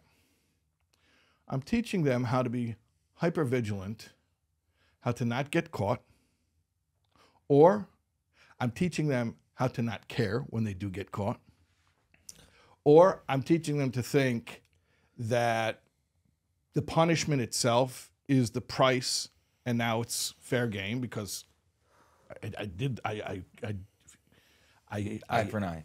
I if I paid the punishment, okay, so fine, you know, uh, then that's that's the price of it. Like they say, um, there's always a parking spot. The question is how much you're willing to pay. You can always park in front of a fire hydrant, done right? many times. It's always a parking. Just how much do you want to pay? Leo's Right. favorite line. There's Okay. always a price to something. There's always a price. Okay, so Emes. there's all these. Right. If you try to influence a child's behavior by disincentivizing a behavior through punishment, these are the responses you're going to get. You're not going to actually make them care about whatever the value is that you're trying to impart. If I'm saying I'm giving credit that the parent even has a value in mind that they're actually trying to impart. Like, by, but what I what I mean is, does the parent even understand why this behavior is desirable or undesirable? Do they understand what value is at stake, or is it even in, to their thinking it's just something they're doing? I don't know, social pressure, or just because um, for, maybe, maybe I, just a personal thing. It Right, their bothers own me. shame, yeah. Yeah, for whatever it is, it's just it inconveniences me. I don't want you to do it because it bothers me. Or is there a real principle? Everyone always say it's the principle. It's the principle. Everyone, everyone says it's the principle. Well, okay, what's the principle? Then what is the principle? What value? Tell me the value. So let's let's use the mashal of the of the speeding. The value is safety. I don't think it's safety because it doesn't accomplish safety. Clearly, in other words, when somebody is trying to influence my behavior and it's clear that their agenda really isn't what they say it is, it's really about control, it's really about something totally aside from my benefit, my welfare, my well being. So, that is not a way to actually get somebody to learn to value or care about what you want them to care about. Kind of like what we just said about the parents in, in general when it's for what them. I'm saying. That's Yeah, yeah. exactly what I'm saying. This is Sorry, apologies. that's Yeah. the, that's what I'm saying. yeah. So, so let's say you are a parent and you want somebody, your child, I guess, you want your child to care about something. How do you get them to care? Well, first of all, it has to be in a context of a caring relationship. That's first of all. Child has to know that you have their best interests at heart. But then, even after that's established, you have to actually care. That's why I tell parents all the time when you think about behaviors your child is doing that you, you consider to be undesirable behaviors, You have to sit down and really, really, really be honest with yourself, because there, there's no point in, in in lying to yourself about this. You think about the child's behaviors that you don't want them to do. You think are undesirable behaviors. Are those behaviors undesirable because they bother you, because they threaten you, because they make you feel insecure, because they make you feel shame? Or is there really a principle or a value at stake? If it's personal, if it's that I just don't want my kid doing it because it bothers me, it embarrasses me, it, it- then I promise you, you will not be able to transmit that value because it's not a value. It's a personal preference. And what do you think? You became a parent in order to get more of your personal preferences catered to? That's the opposite. That's like the worst way to get your personal preferences catered to, is to become a parent. You become a parent in order to have people to, to, to, to fulfill your, your preferences in life. That's not how it works. Becoming a parent is Selfless. Not self. selfless. Exactly. It's The- less of you. less of you. You're there to take care of these these children and to provide for their emotional needs. Not that you you twist the whole thing that they should take care of your emotional needs. But it's funny you say this. Sorry to interrupt, but it's very funny you say this because a lot of people say, "Well, having a child is for your own benefit." So you hear this people who are like anti having children here and there. They'll, they'll, they'll say like the whole problem. People have children. It's really for them. It's for, for their enjoyment. So they should get the knowledge. But really, it's opposite. The whole purpose of having a child is that it's not for you. Well, and the those minute you people aren't wrong. I mean, those people are going talking from experience that we know they have probably met so many people who clearly had children. But that's not what it's supposed to be. Of course, we are, I think both parties are in agreement. It's That's not not, supposed supposed to be. No, but- but but they they've probably had parents who were selfish Yeah. parents, and so Right. they they got Yeah. the message. of Oh, I can parenting. imagine Yeah. if someone has Yeah. selfish parents, they wouldn't want to have kids. I I, I hate oh, to do this, can but I- I do was want gonna say one thing. Wait, wait. I Bring- well, we're I think we're You- saying the same thing. We are a little bit off the topic of what I asked, Right, that's what I was about to say. The Yeah. context of Oh, divine get- punishment. We're talking about God. and we're We're talking talking about about punishment. Yeah, Yeah. that's the guy that says same. Yeah. Which you you are talking about punishment here. You are talking about, Oh, yeah, but so- like yeah, but I don't know what God's. I don't know if God is uh, Yeah. sending people to hell for personal preference. Maybe we're bringing him shame. Yeah. like it's it's hard to know. He's never spoken to me at least, but like Well, he did yeah. Har Sinai. So I, I have oddly zero recollection of Har Sinai though. It's weird. let's say that all reward and punishment in Torah is for our benefit. Let's say. Okay, we could discuss that, but before we discuss that, even if that's the case, if a person doesn't have a God concept that feels incredibly warm and loving and supportive, and you just come flying out of nowhere and you hit them, the first thing you hit them with is Onesh, Gehenna. What, what do you expect their God concept to be? In other words, are, are there are there such things as as punishments? Of course. One, one of the thirteen principles of faith is that there's reward and punishment. There, there's cause and effect. Our actions have consequences. Of course, there is. But when that becomes the first thing that you tell somebody, the first thing and the last thing and the middle thing, and that becomes the whole emphasis, and that becomes the definition of the relationship. I, I- how do you set aside the, the, the spiritual how, how spiritually corrupt that is just from a just from an educational point of view why would anyone think that that's motivating it's just such a poor educational strategy Can I say one other thing? You may say that doesn't answer the question. Is that what you're thinking? we're in the middle of we're in the middle no, of a we're in the middle. I'm yeah, I know he's we're in the middle. Yeah, I was no, I was just gonna bring in a different point, but Okay, so I want to add in one thing. I don't. Know. sure, Let me please, just add in one please. thing. The question really becomes to me is, if you believe that the way I see this, is that if you believe the fundamentals of Torah, the soul, the concept of the continuation of the body, the guf is is is is temporary, right? The Torah has an, an aspect of tremendous emes to it. Then it behooves you to figure out the answer to your question. Versus the other way around, that if you don't, if you just want to look for something that makes the Torah not true, yeah, you can focus on the one question. But which, by the way, every great hold on, let I me am- just let me finish. Let me finish. Sure, sure. I'm not saying that you're Fair, attacking. I'm not by any sense saying that. I don't want it. I don't want it to come across that way. I'm not meaning that. No, I just think I'm being mislabeled because I'm not No, I'm not trying at all to. I'm untrue. saying. I know. am not talking know. true and know, I- That's, that's what I'm getting at. Yeah. I don't think Okay. you are. Yeah. I'm purely just Yeah. responding to your question. Not that you think anything. Like Right. zero. Yeah. I'm purely just responding that if there were someone like truly to think like this question, this particular question, by the way, is the go-to question of every single big uh, Musar Sefer in the world, Chovos Halevavos, uh, Yeah. uh, Mesilas Yesharim, like every single one discusses what is the concept of Onesh. If Hashem wants everything to be for us, Why is there the concept of Onesh? It's like literally like the same thing. I didn't think I was inventing the wheel. Right, sure. I'm just saying. What's the question? The famous question of uh, of uh, Pesach, you know, and Dayenu. Well, what's the reason? Well, the, the famous kasha. Well, if Hashem gave us, didn't give us uh, the Torah and Har Sinai, how can you say Dayenu? Right? It's the same exact thing. The go-to Hashem- question. yeah, it's the same, yeah, but we didn't go into Mitzrayim. You Right. wouldn't take us out. I'm- No, but there's the what I'm famous question in Dayenu yeah. specifically, Oh. the Dayenu which says that if Hashem didn't give us the Torah, right, I'm- I'm it still would have been it still would have been Dayenu. The famous What- question what every what I'm- single gadol What I'm has. merely doing here is I, I- I'm I'm actually for once not getting into I, true untrue. I'm really just from the emotional. This, you know, Where's Schreier? I want I want the rabbi's take on like emotionally how we're supposed to do the work to feel So that let- let- let me positive you- emotion connection with an with someone with a being with an entity that even with all the positivity is still seen as the great discipliner in the sky. So, wh- what I would say Purely for you- emotional, not nothing to do with emes or not emes, or you mm-hmm. know, I'm not I'm not hearing the truth claims. So th- th- that's why I, I, I said earlier, let's assume that all punishment is for my benefit. Even if we're to assume that, even if we're to assume that, if that is the beginning, middle, and end of the relationship, if that is the main thing that I know about Hashem, the main thing I think about Hashem, just from a from a behavioral point of view, it's not a compelling motivation. Okay. I'm saying even if we're to assume that it's all for my benefit. Why? Because there's no epistemic trust. You're telling me it's for my benefit. But what else do I know about Hashem? What else have I experienced in my relation with Him that makes me feel, feel, not think, to feel, that things are happening for my benefit?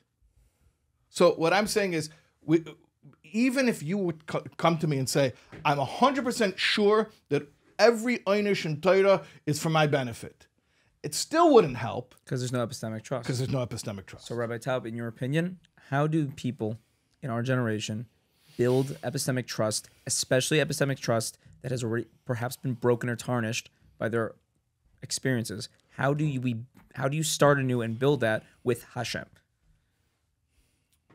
With God. How do we do that? What are some ways that we can do that? So I- I'll, I'll talk about a subject that I don't like to bring up because we're going back to how we started. Remember, we started with the confusion, how people mislabel me. Mm-hmm. Okay, mislabel. Right.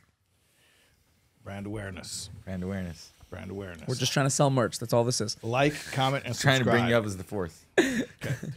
But so I don't like being mislabeled as a mental health professional. I don't like being mislabeled as an addiction counselor because I'm not one. I'm not. I have no professional training in the field. I wrote a book called God of Our Understanding, which is about uh, recovery from addiction, but it's really not. It's really it's, it's chassidus, but it's chassidus in the language of 12-step recovery. Okay, so why am I bringing this up? you want to meet people who have epistemic trust in God, like people who will tell you, my relationship with God is the most important relationship in my life. First thing I do when I get up is I think about God. Last thing before I lie down to go to sleep, I think about God. You want to meet such people? Go to a room of recovering addicts. And and this this is what you're going to hear. Now, what's funny is, generally speaking, most of these people had very difficult lives. Nobody goes into recovery because life was going well, right? In fact, anyone who walks into a recovery meeting the first time, I promise you, they just had the worst day of their entire life, either that day or the or the previous day. Okay, in the past 48 hours, they've had the worst day of their entire life, or they wouldn't be walking into their first meeting. So you're talking about people who have had hardship. And yeah, and I'm not saying that this happens the first time they sit down in the meeting, but I'm saying those who stick around and those who recover.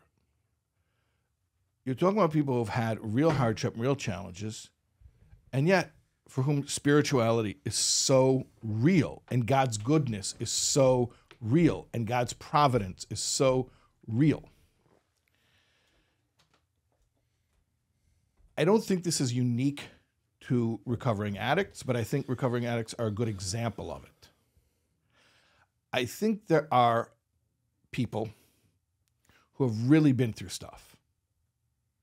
And it doesn't have to be addiction, it could be anything. People go through all types of nisyonis, all types of challenges in this world. And and for some people, by the way, I've come to realize because a lot of times people say, "Well, what, what's your trauma? What traumatized you?" Some people are just such sensitive souls, and I think this is a little bit the category I fall into, is that embodiment itself is traumatizing. Just being in the physical world is Just painful. having having a flashback to carry around everywhere. yeah, is, is is Stuff. it's weird. It's just weird and unsettling, at best unsettling, and at times downright agonizing. But at any rate, you have people who have really been through stuff and been through pain and loss. And yet, who find some meaning and find some coherent narrative. My story, my value, why I'm important, why why why the world needs me to stick around and not just check out of here with all the difficulties there are. And generally speaking, such people, even if they're not religious, by the way, will be deeply spiritual and will believe in a higher power. Um, because there's something inherently um, spiritual about that idea that in spite of all the difficulties of life, my life has meaning and purpose. Um, I have no right to remove myself from this world because I have a duty to be here. In fact, that's what life is. Life is duty. Life is service. Life is about being here for other people. It's about selflessness. I tried selfishness. I tried selfishness. I tried to satisfy myself. Didn't work. Just made things crazier. Just made things more miserable. I had to surrender. I had to realize that life is about service. So those kinds of people, um, you don't have to convince them from a book that there's a God. Those are the people that need to be teaching others about spirituality. In other words, if we had leadership who were people who were not leadership just because they know they know what it says in the books about God, but because they have real life experience. This is yeah what I was getting at when I was asking the rabbi question, which is not just your idea, but there has to be other factors that allow you to become a rav, a rabbi. Like But how are you going to test that? That's right, the thing. so it's difficult. Okay, I'm, okay, I'm, it's not, I'm not bashing the And system. I'm not saying there's a better way to do I it. I'm saying we- we- the idea of. There's no it. way. There's no. There's no vetting. There's no way we can make like Right. think. Okay, so after we're faher you on your now we're gonna see i- i- if if you're a real guy. We're gonna. There's no way to. do- Right. but, but what we can do is we can create a cultural change. We can create a cultural change. Cultural change merely means who, as a culture, does our community choose to respect? People with perfect track track records. And that's one of the Not people who us. had struggles. Not people who went through that's shit not- the and then biggest got out the other side. Right. Even though those would be the best teachers and the best rebbeim, and the most compassionate, the guys who get the guys the best. That's right. And then if they do get a rabbi job, they get put in those yeshivas where we stick the kids who. Uh, never. Right. Yeah. Right. Exactly. That's the irony. Yeah. So, Rabbi, I have a question. So, it's clear that you're you're a Chassidus person. You Yeah. are, and you you know whatever was you grew up it was Chassidus, or if you didn't grow up, it brought you closer to Hashem. Fine, that's beautiful. So I grew up completely the opposite, a, a totally Litvish person, right? Okay. And, and I'm curious what you would say to someone that is. What are your thoughts on the Litvish mentality? Um, is it something that you could appreciate? Is it something that you know just overall you, you, it doesn't resonate at all with you? Like, where do you stand in general with the whole Litvish concept, and like what speaks to you and what doesn't? I was just talking to a guy from Lakewood today about he was he got very into Chassidus Chabad and he's trying to teach it in Lakewood, make a chabura over there with some some Yungeleit. And I I was I was saying to him that uh, by the way, I love Lakewood. I Yud-Tes Kislev which is Rosh Hashanah L'Chassidus, where did I verbring this year? In Lakewood. We had a nice oil with four, five hundred Yungeleit there in Bachram. Yeah, beautiful crowd there. Well, Right. So I, I was saying to him, you know, a lot of people get into Chassidus because they like the inspiration. I said, don't worry about those people because they, they can go, they can be inspired. They- That's not what that's not, that's not what this is about.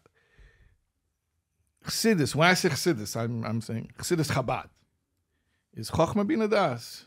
It's Seichel. It's, it's, it's a limud. So I, I, I told him that the the Lakewood guys, which is primarily it's a Litvish, uh, you know, town. At least it used to be until you know, yeah, we know about the cultural shifts and changes that happened in Lakewood.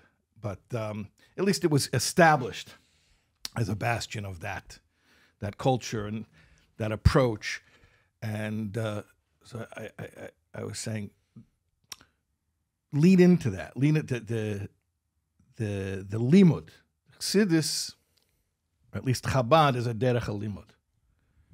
A lot of people think of Chabad as, in fact, before we started rolling, I think you said, "Oh, what's Chabad?" Everywhere we travel, when we need to get kosher food, so we call Chabad. So that's that's what, unfortunately, fortunately, unfortunately, that's what people think of. They think of when we're traveling, we need to get food, we go to Chabad. Okay, but the the reality is that Chabad is Toiras Chabad. It's a certain way of learning, and it's a very deep way of learning.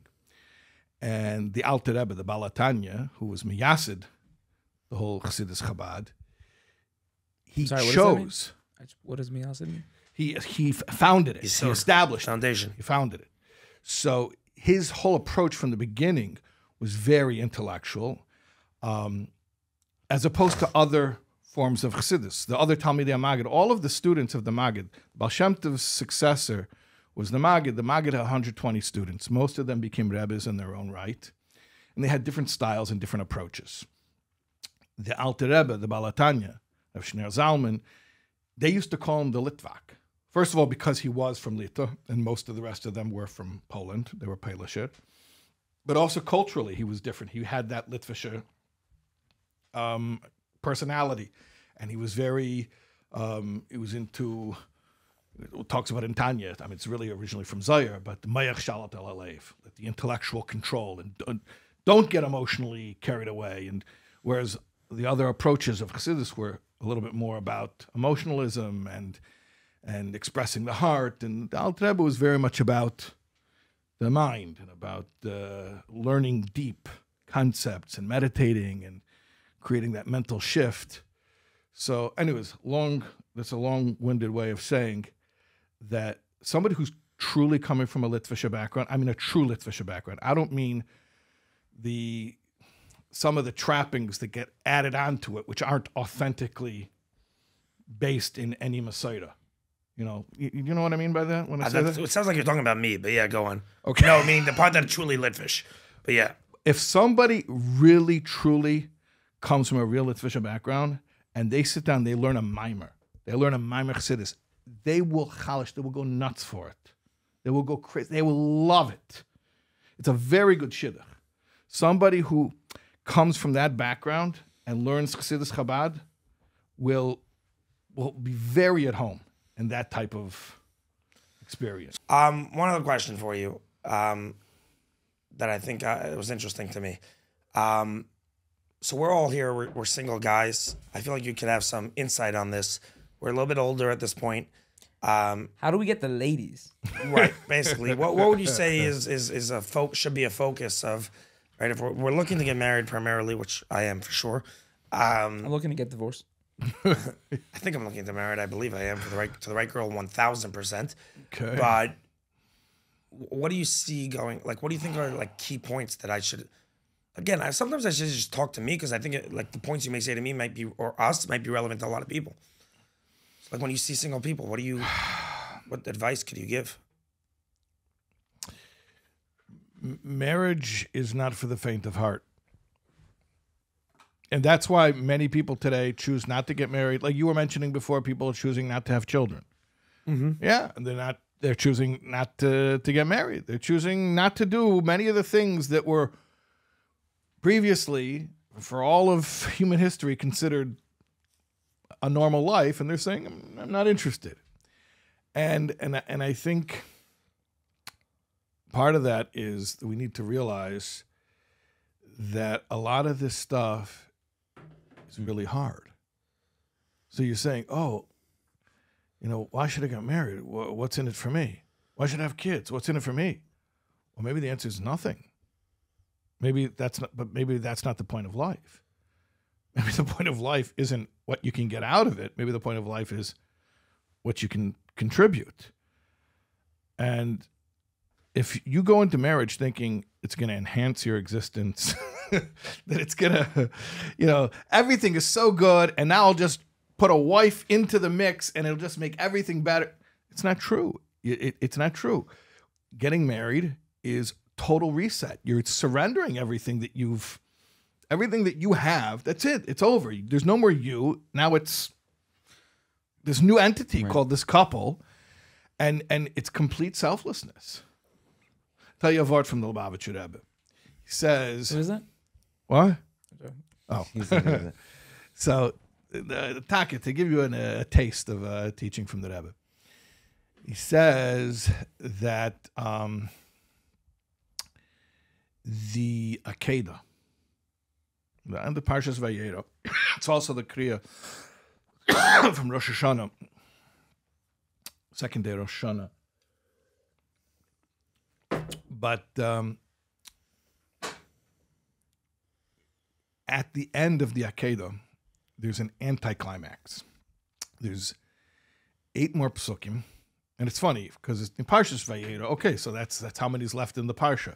But the Kriya for Rosh Hashanah, seemingly they're picking a theme. Like finish the once the Akeda story is over, the theme is finished. But it goes on. There's a little genealogy afterwards, a genealogy of of Avram Avinu's relatives. Begat, begat, Begat, begat, begat, Yeah, the begats. The Begats. you know Genesis is full of those begats, Oh, yeah. begats. And it's like a like cracker it's it's sort of like you have the most dramatic moment, arguably the most dramatic moment in the whole Bible, the, the uh, Akedah Yitzchak. And then after that's done, you have another eight psukim of begat, begat. But um, if you look at that genealogy, it's the gene- genealogy of Rivka, who is the wife of Yitzchak. So the Rebbe says like this It's not anticlimactic to learn about the birth of Rivka after the Akedah, because the Akedah is not the high point, it's not the dramatic high point of the story. It's only a warm up, it's a warm up act. The Akedah is the ultimate act of self sacrifice, right? No. It's the warm up to the ultimate act of self sacrifice. The ultimate act of self self sacrifice is Yitzchak's marriage to Rivka. So after he goes through the Akedah, that's his like premarital counseling. Right. Then he's ready to marry his wife. That's really intense because it's saying more, very more so than More than allowing the- yourself to be shechted. That's correct. Because it's the Powerful. death of the ego. Hmm. Of you, just you being you. Yeah. As a self. As They a say you. You give up yourself. Before a man is married, he's incomplete. And once he's married, he's finished. Great. But it, it, it all depends how you view the ego. So Um, is ego death Right. the worst thing that could happen to you? Or is best. ego death the best Evolving. thing? So you've talked a lot about selflessness, and obviously that's a major contri- like a major thing to life. Obviously, is selflessness and um, living for more than yourself. And people in recovery will talk about this, and a lot of other people talk about this. With that being said, it's very difficult to live your life when you're just as humans in what in the, in the material world that we live to just live selflessly. And there mm-hmm. is a concept that when you do a mitzvah, you get schar. Yeah. And schar is not a selfless thing, te- te- technically. It's you're getting schar. It's a selfish thing. It's your reward. It's Hashem giving you a reward. When you give tzedakah, for example, it makes you feel good. There's an internal thing that makes you want to continue to give and give and give. And there's a little bit of part of that that is that I get something as well.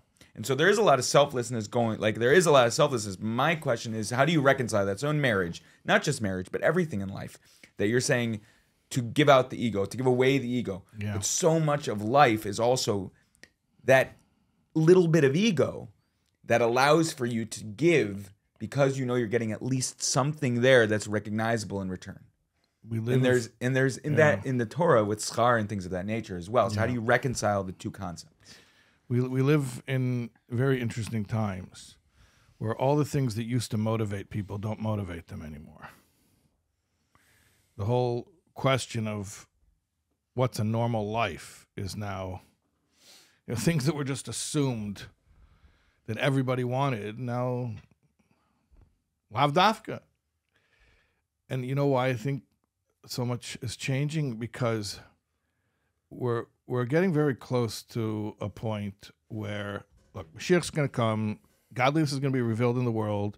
And everyone's going to see that the only reality is God. Okay, at that point, mm. selfish motivations are going to become completely moot, out the window, irrelevant. Right. It won't be such a thing.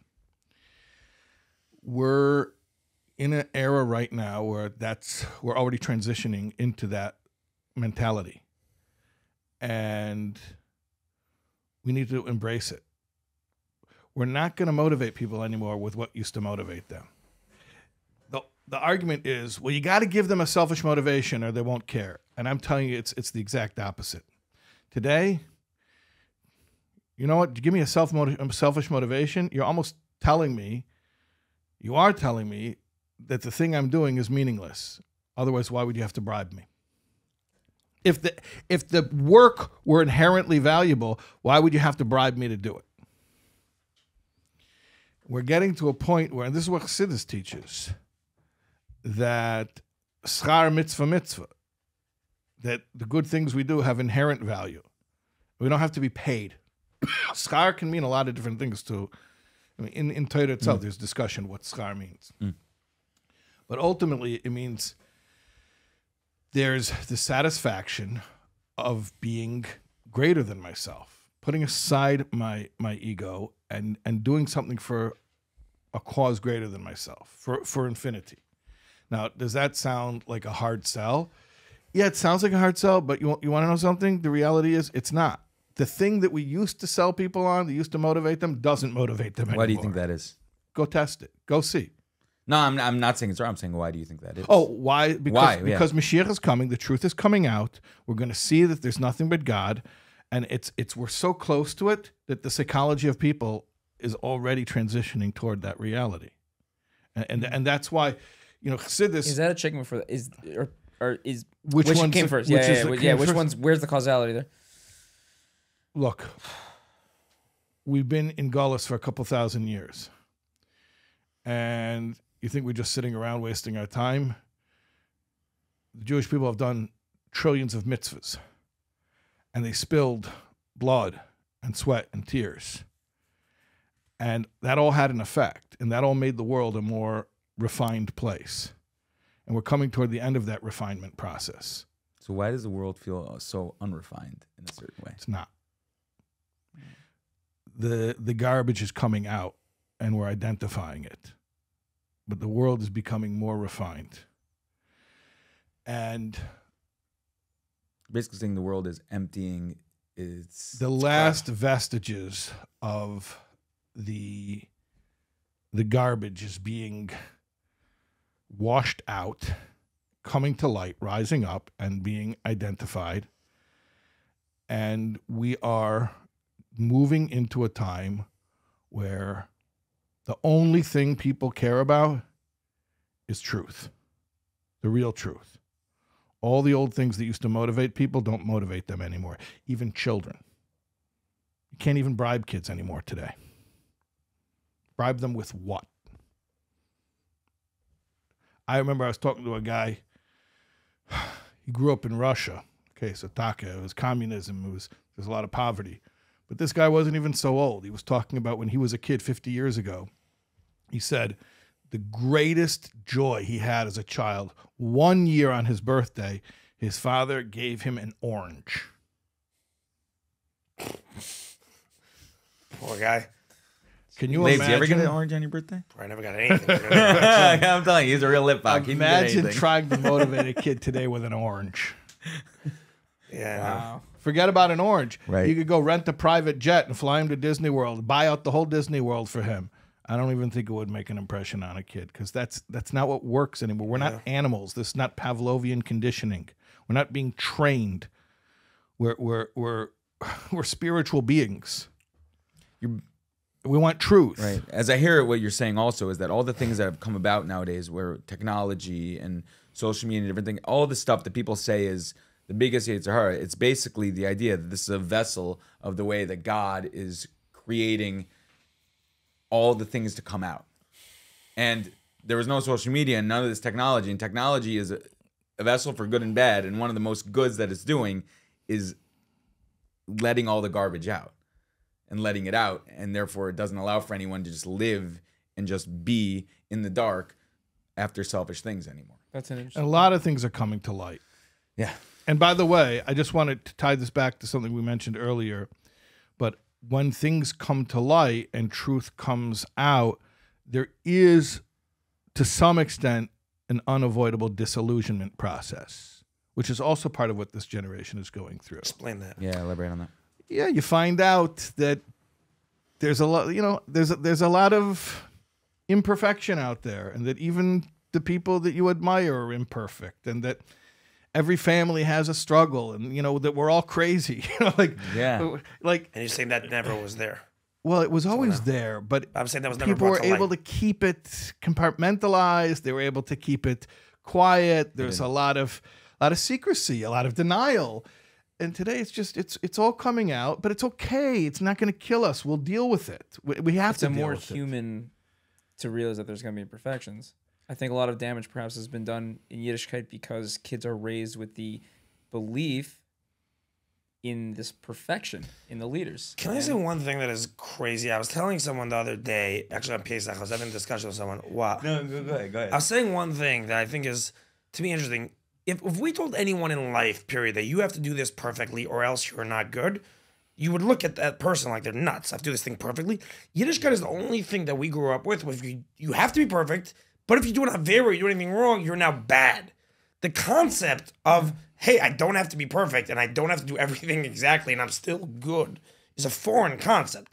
Like, hey, by the way, you could not do everything perfect. You can do an avera and you're still totally okay because it's not expected to do everything perfect. There's this concept of perfection within Yiddishkeit that the second you do something wrong, eh, for sure in the Litvish Welt, I'm not talking about the Chassidish Welt, the way I grew up, and I think yeah, so yeah, that- all of a sudden you are now like there's something wrong with you. Like like you're this chaval, you're a bad person, you're this, you're that, because you weren't perfect. But in any other area of life, if you want to be perfect, be like, yeah, obviously I'm not perfect. Like, of course.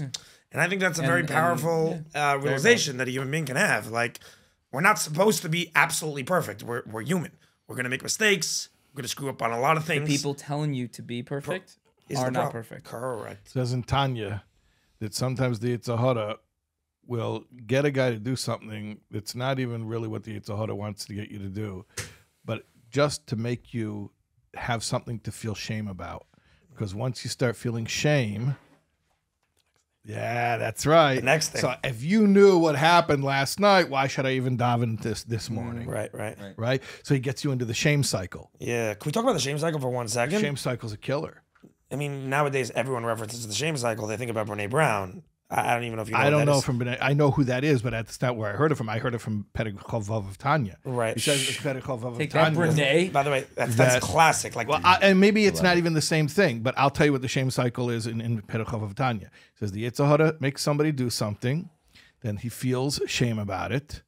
Now that is painful. It's uncomfortable to feel shame, right? So we don't want to feel pain. So what do we do? Well, the easiest way to get to relieve the pain is is as a taiva, is pleasure. It just it's it's a numb it. distracting. You know, Right. recover it up. no pain, Right, pleasure. Right, and and and when you're looking to which taiva to give into right now, because you're going to have to give into some taiva to distract yourself. Well, your standards are low because you don't have a you have a, you don't have a very high opinion of yourself right now because you're feeling shame. So then you do whatever works quick and cheap and easy, and then boom, now I really have shame, even worse shame than before, which means greater pain, and now I need a greater distraction, meaning a greater taiva to numb the greater pain, and then it goes. Basically, Brene should start learning Tanya immediately. That'd be cool. Yeah. she- That'd be cool. Zach, you had a question? Uh, yeah, I did. I uh, one last quick question, um, based off something that Shmueli told me about your teachings. uh, right before that we started the podcast. He said that you say one of the things you say about chinuch with kids is if you have a kid who is wild, Mm. that you should teach your kid to be wild. I want to make sure that's something that you said, or is that something you said? There's a tick. yeah, I- well, yeah. Oh, yeah. I- are you talking about the, the about the Tohu and the tikkun, that whole thing? I don't know. is- Would There you was- agree that if a kid has a certain individuality that's a little a little outside the box, has a lot of energy, a Me. little bit different, that you should lean into that because that within there perhaps lies the kid's strength. Okay, I don't remember exactly what teaching you're referring to. So I don't know if it's a teaching, but I'll, I just will elaborate. There's, Yeah. uh, I was just, it was, I was on right before we came on here, and it, the thing was basically saying there's kids that are in the box, and then there's a kid that's out of the box. oh, that's also from and the and, Rebbe. and and and about Rachel and and, Leah. and we should teach the Yeah. people that are out of the box, the quote Yes. unquote wild ones, to to be out of the box, to Yes. hone their out of the boxness. yeah, there's al- there's also from the I remember called this, and I told Leah. Shmuel, I'm like, we, I, now that I, I, I shared Yeah. it, I said, where was this guy when I was growing Yeah. up? Yeah. That's what I wrote. So, So yeah. r- there's there's the Rochel and there's the Leah. There's two different models. And uh, Yifas Ma'ara Vafas Te'er, which doesn't just mean Begashmias, but it also means she's the perfect, picture perfect, good, well behaved. That's Rochel. Rochel is the the good girl. Uh, the easy girl, the, you know, she like it's not hard to be mechanech her, and she doesn't fight, and she doesn't rebel, and just whatever. Just the, the the good girl. And by the way, there's nothing wrong with that. I'm not putting that down. And that's with some people. There's nothing. The person doesn't have to go and make problems where there aren't. But that's not everyone. Then there's there's the Leah, and uh, Leah is uh, rough around the edges, and they wanted to be mashadich her with Esav, and she, it was her greatest fear because she said, why, why, "Why do I have to be the reject? Why do I have to be the weirdo, the the interesting one, the most damning word in the Frum community, by the way, interesting." It's interesting that interesting became such a damning word. You know that goyim don't have that connotation. You speak to goyim about interesting, you say someone It's a who's somebody who's thing. interesting. Totally. But in the frum world, if you say somebody is interesting, like somebody calls you out a the highest reference, praise in the frum world in certain circles is, oh no, they're normal. r- right, Yeah. right, They're normal. right. They're not They're nothing very- weird right, about them. right. Yeah, nothing unique and, about and them. the worst thing you could shy. say, interesting. If you say in, if you say interesting, that's it. Like Done. Drop them No like a hot shidduchim. potato. That's it. What does interesting mean? Does it mean that he's he's he's gonna? He's By gonna- the way, what you're be- saying he's right gonna be weird at the Shabbos table. It's such emes what you're saying right now. Interesting is the bad word. You're right. It's like that the word. worst thing you could say about somebody. Yeah. Well, I, to, Yeah. to finish my question, it's a double question. Is Yeah. some people don't aren't don't have the people in their life or don't have the whatever. Some people don't lean into their out of boxness, their wildness, their interestingness Yeah. in their younger years. But it's who they are. Yes.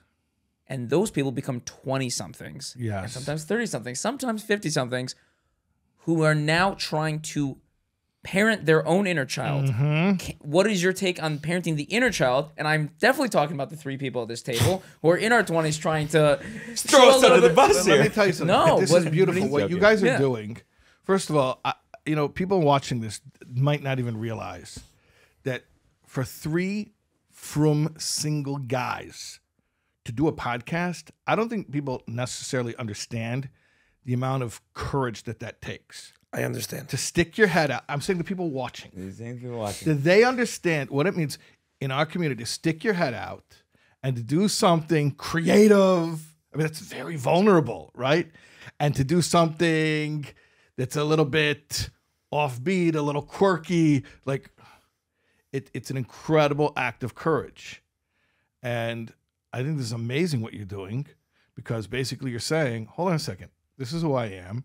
Maybe it's of benefit to other people you know, may, maybe other people will gain from these types of discussions. By the way, so much loneliness today.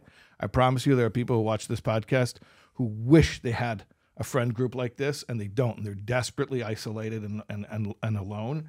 And you would be shocked the lifeline that your little conversation here is giving, I promise you, to, to hundreds, maybe thousands of people who otherwise wouldn't have that I never thought of that take. Hundred percent, unbelievable. A hundred percent true. But in order for them to have that, you guys had to have the guts to be interesting. and I think it's beautiful, and I think it's very healing you. for Appreciate you and for everyone who watched I think it's really it's the 9/11 firefighters and us. Those are like the main heroes. I think the in two- society. Yeah. yeah. Yeah. Top top. Yeah, and then there's Ezra Snasham. yeah. And then there's Flatbush Girl. Yeah, we'll make a list sometime. Prioritize who are the real essential workers of the Jewish world. We're definitely essential. Yeah, No, but that. Thank you so much for saying that. That that Yeah, means a lot. honestly, you should know something. Honestly, Rabbi, that means truly that means the absolute world to me. Did you expect you'd be doing this with your energy? you know, I don't know. I'm I'm I'm I'm not a normal person. I, I admit that. Love I, it. I no, I mean it's it's true. Um, but I try to make the best use of what I was given. You know, Hashem made me for a reason. He made me the way that I am for a reason. He gave me my strengths. He gave me my weaknesses and my my story and my great moments and my difficult moments. It's I mean, I'm just trying to use it in the best possible way. Like, why am I sitting here? Because I think it's so fun. I'm not having fun. I'm miserable. Why am I sitting here right now? You guys are so intimidated by me. 'cause- Not at all. I was at the beginning. At the beginning of the Okay, podcast, yeah. I was. I was like, But, no, uh, I only know you from your videos, and now you're in person, and the personality. It's like it's a whole different It's a thing. lot. It's like when you're Okay. texting a girl and then you meet them for the first time. Right. Okay. It's quite. yeah, It's quite similar to that. So, wh- what I was saying is, why am I sitting here right now? Why am I here? Uh, Not because I think it's fun, um, because I think maybe it will be of benefit to somebody. Are there more normal ways of trying to put out a message? Yeah. Are there safer ways? Yeah, for sure. for sure. And I don't know how you're going to edit the stuff recorded here. And but you know what? It's part of the vulnerability of of the creative process, and it'll be what it is. And Hashem will help, and it should that. only have a have a good effect on everybody.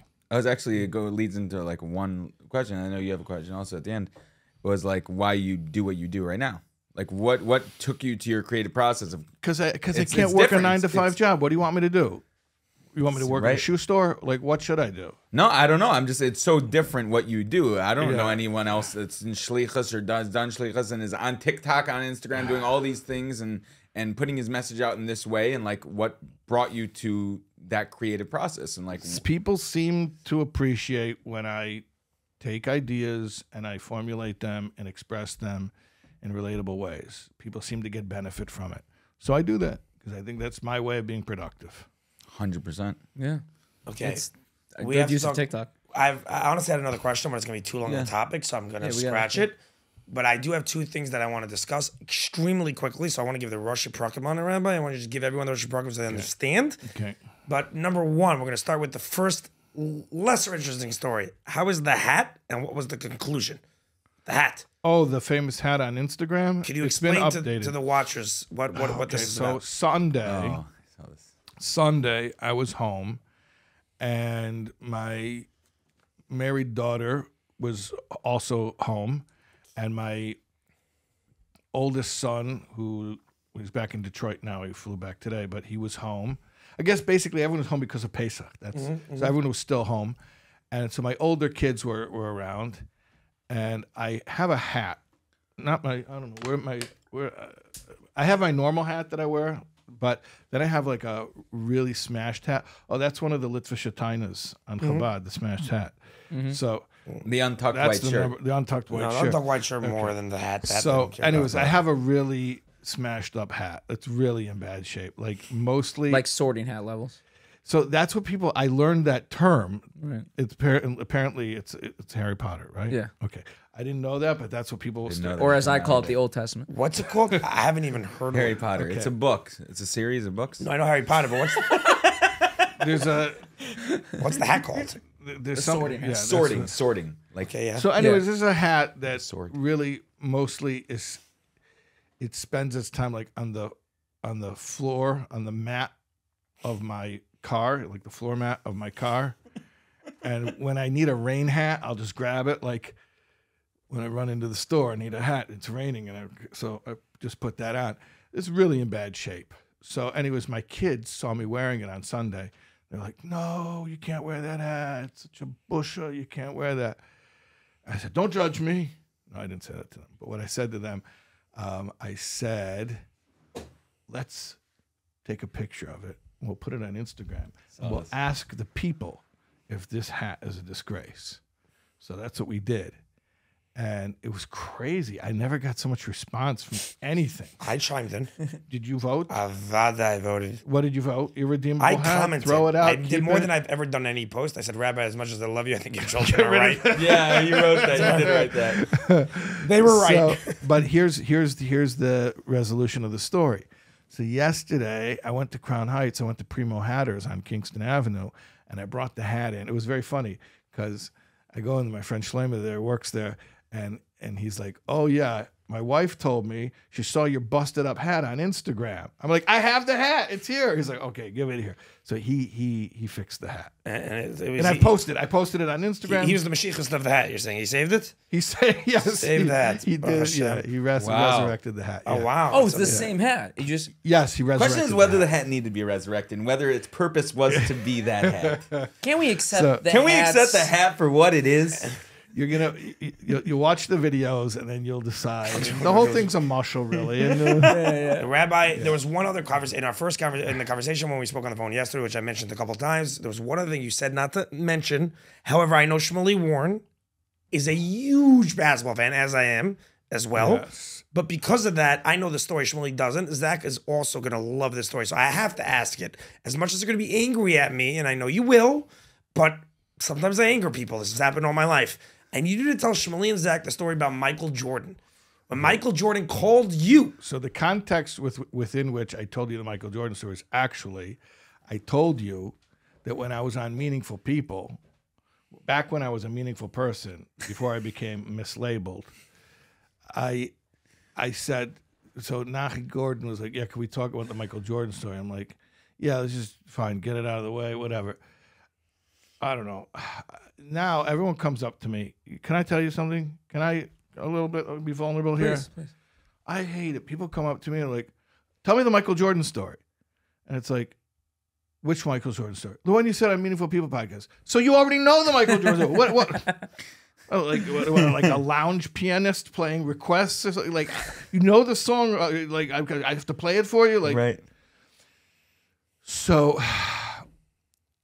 Yeah, so I don't like when people come, and also because it's like, this is what I'm about. Like I, I, I work so hard to try to present something of value to people, and then like the one thing that they they know, oh, the Michael Jordan story. The Oilem needs to connect with you. I think some way. because the it's a- yeah, gotta connect. it's an easier I'm missing thing- the NBA playoffs for this podcast right now. I need to know.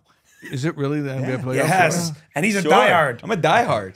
The NBA playoffs used to be like in May or June. They are. It is. It's This also is the first round. oh, oh, oh, Wait, oh, did we- it's the did first we- Yeah, yeah, yeah. But I'm a be also- diehard. First round matters. To be down the conference close for people, I think it's harder to go up to someone in the middle of, the, you know, see you at marketplace and be like, "Tell me again about shame and children." Like that's like a. But I wish they would. Like that's right, maybe that's a they- purposeful Right. So people, who, conversation. to the people who are listening, if you see Yeah. him at marketplace, you see him Or out the better Valley yet, really, do you want to know how to make my day? If you really want to make me like have a positive experience, come over to me and say, "Can we discuss Perek Chavav of Tanya?"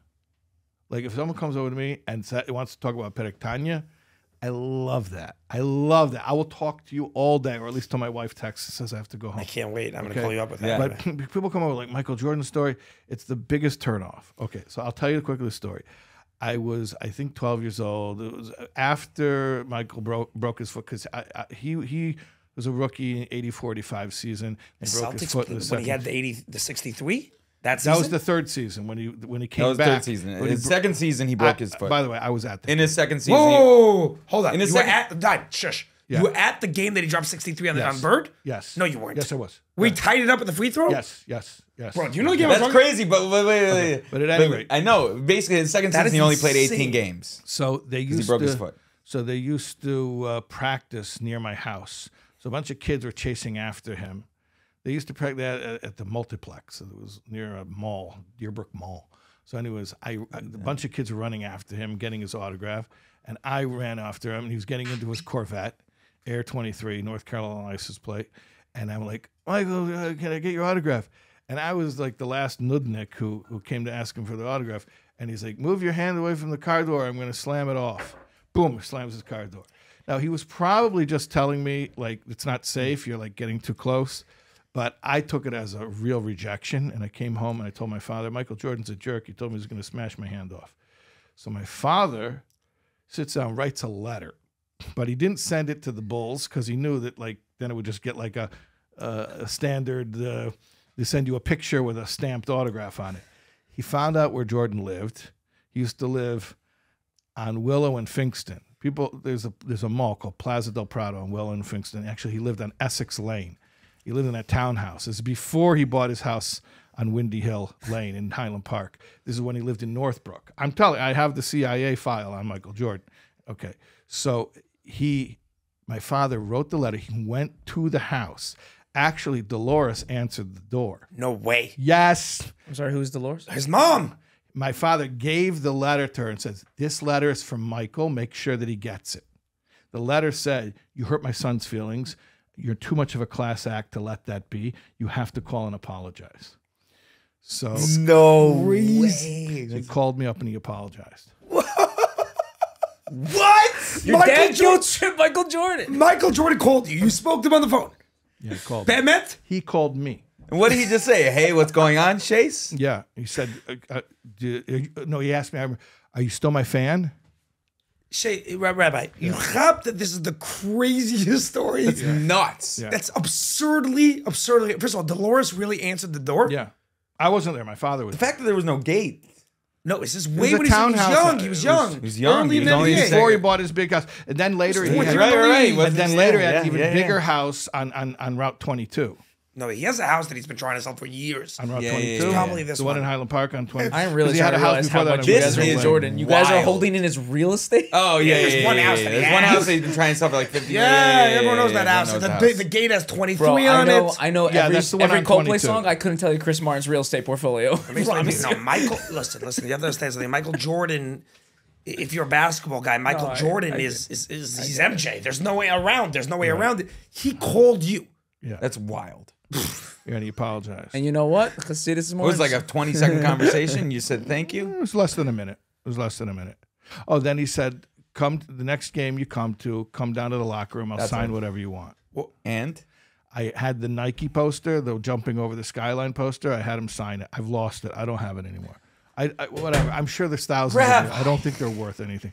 But any at any rate, that's. Do you? Uh, what's your thoughts on Michael? Can you just give me the quick thoughts? Do you think he's a? Do you think he's? I'll, a, I'll tell you. Very Please. simple. You think he's a gullible? And Is he this, not a gullible? th- this will tie it back into what we were talking about before. I am tangentially aware of people who judge Michael Jordan based on I don't know. I think what's because he's gambling, because he's being competitive, because they say he's not a nice person, because he wasn't nice to his teammates. What I've I've heard all the scandalous stuff. Want to know something? please. At the end of the day, how could I ever feel anything negative about the man who picked up the phone? He did not have to do it. He called a 12 year old kid and apologized. So that what I want to explain to you is he took 60 seconds to show that he cared, and that's it. You could tell me anything about him. To me, he's a good guy. So, uh, uh, uh, so You have where am I going? trust Where I have epistemic trust, which it- this this is coming at the whole thing. You show somebody real compassion, menschlichkeit. In fact, especially when you messed up and you you owe them an apology, and you can be a big enough man to say, "Do you forgive me?" That will win you a lifetime of trust. Can I ask you one question? Just Yeah. one additional thing. There are stories about Donald Trump, and I'm Yeah. bringing this I know full circle, Yeah. real full circle, where Donald Trump unequivocally, it's not a debatable, has done acts of kindness that are undebatable, uh, flown children uh, from kids even from one side of America to the other side of America. We had no reason to particularly do so other than a phone call from someone that he knew. Yeah. Maybe it was a client, whatever, but he did not need to go and spend 30 grand in 1997 when he had no shot at the presidency and he went and he did it and he, right? That's the same, uh, whatever the hell the word is on Epistemic trust. Epistemic trust. And I'll and, and I'll back you up on this, and I'll tell you, they asked Mike Tyson to comment on Trump, and you know what he said? what? He said, when I had my problems, meaning his his, his, his legal, Legal trouble, issues.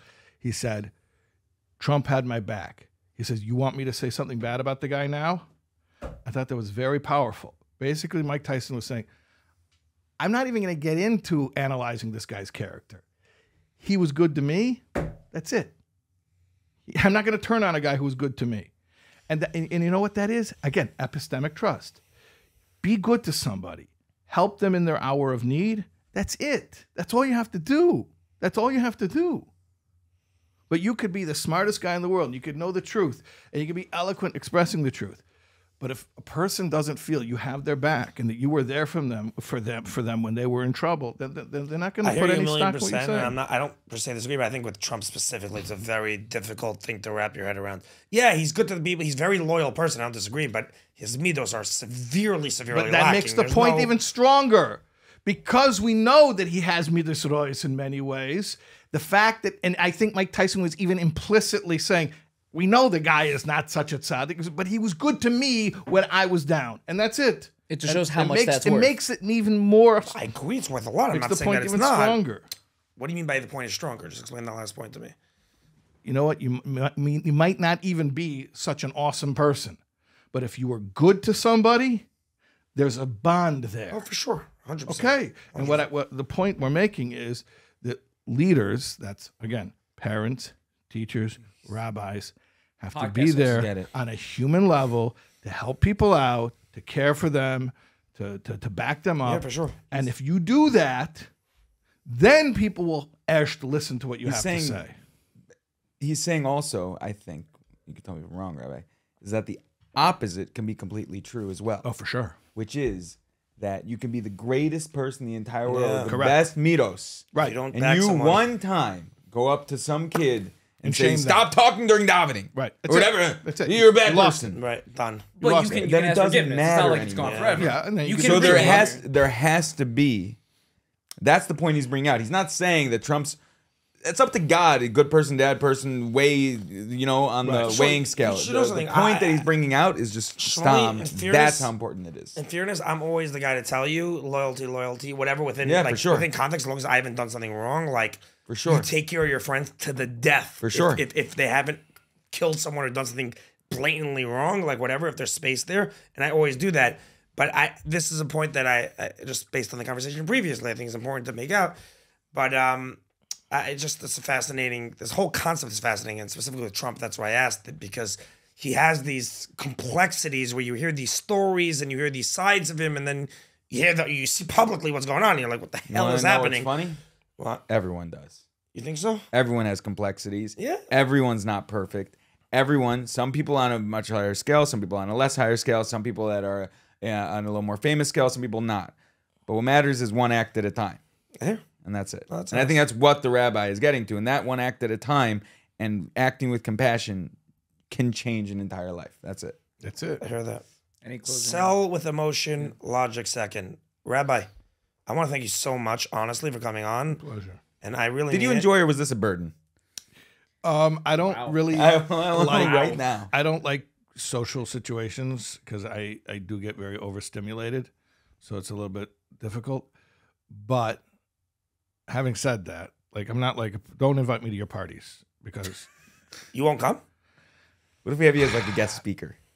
if I can come in and do my talk and then leave. In a club? But, what, like a comedy club? And do No, no, mic? like let's we way. rent out a space. Get up we're and, gonna like, have like a whole do party, my but we have you at the beginning. Comedy routine. You're, That'd be uh, amazing. You say the Perek of Tehillim. I'll say the pick of Tim at the beginning. Yeah, but there'll be like dancers on the side. Like, Okay, we, they'll only bring them in after the Tehillim's done. You'll be walking out the way. you wait. You wait till I leave. Okay, listen. That, you asked me a question. That- Yeah. yeah.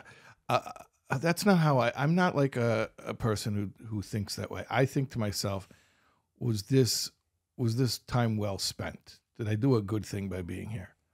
Okay, I think I did. I think even if this never airs, um, I'll feel like I made a connection with you guys. I feel it was positive, so that has value. Has tremendous value. Can we come for Shabbos? Yeah, sure. Fantastic. Okay. I'll walk it. What's your favorite bottle of booze? Do you Um, drink? No, not you really. I know, I know. That's what makes me also atypical. Come on, come I know, on. it's a part of the. You're not real Chabad, Rabbi. That's Come why I have to on, come on. Yeah. I- oh, if you guys come out, I'll make I'll make the cholent. I make a very good cholent. Oh, oh, Yeah. you should know. I'm gonna come, Rabbi. Yeah, you should know. telling you. Labels are coming only if there's two things: good cholent. Do you have herring on Shabbos? Yeah, well, we get the. sh- You know what? I don't do it There often, needs to but be I also herring. I also make herring. I make schmaltz herring. I love herring. You make it yourself? Yeah. Well, not often, not often, but yeah, I do sometimes. Yeah. Rabbi, for me, you're gonna have to make it. I'm just saying. That's it. Yeah. Done. Okay, but, but seriously, Rabbi. I'm- we're we're 100 percent going. Vada, vada, Rabbi. Okay. But I, but I truly like. I, I don't just say this. I, I know that is your amazing. time is valuable. I even showed up to your own shiur. I That's showed up right. to your shiur, Rabbi, That's to get right, you here. you I did. pa- I, paid in my You time. invested. You My mother went to your talk in Cleveland. Oh, at because of- High School? Yeah, because Yes. I, she heard about you from me. Oh, that's so I posted. good. Yeah, I posted on the Warren Oh, that's Family. Chat. I said, "You guys have to listen to this guy." And you know, I'm I'm the a little black sheep. I'm not posting rabbi videos to my chat all the time. Oh, and my my he's mother, posting a rabbi. Uh, he's like, oh, Shmueli is getting involved in this. Yeah. She went to your talk and she literally sent me. She's like, Shmueli, in in in in, in whatever of you, like in honor of you, I went to see her of Shais Taub.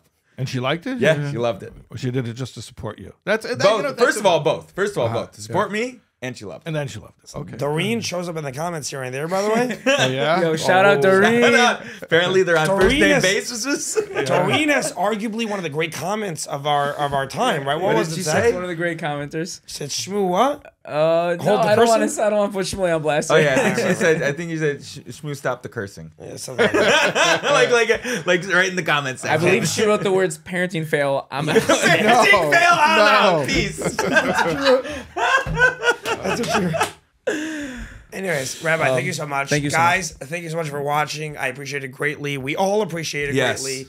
Um, gonna keep coming with good podcasts. Um, yeah, we hope you guys enjoyed. Peace, love.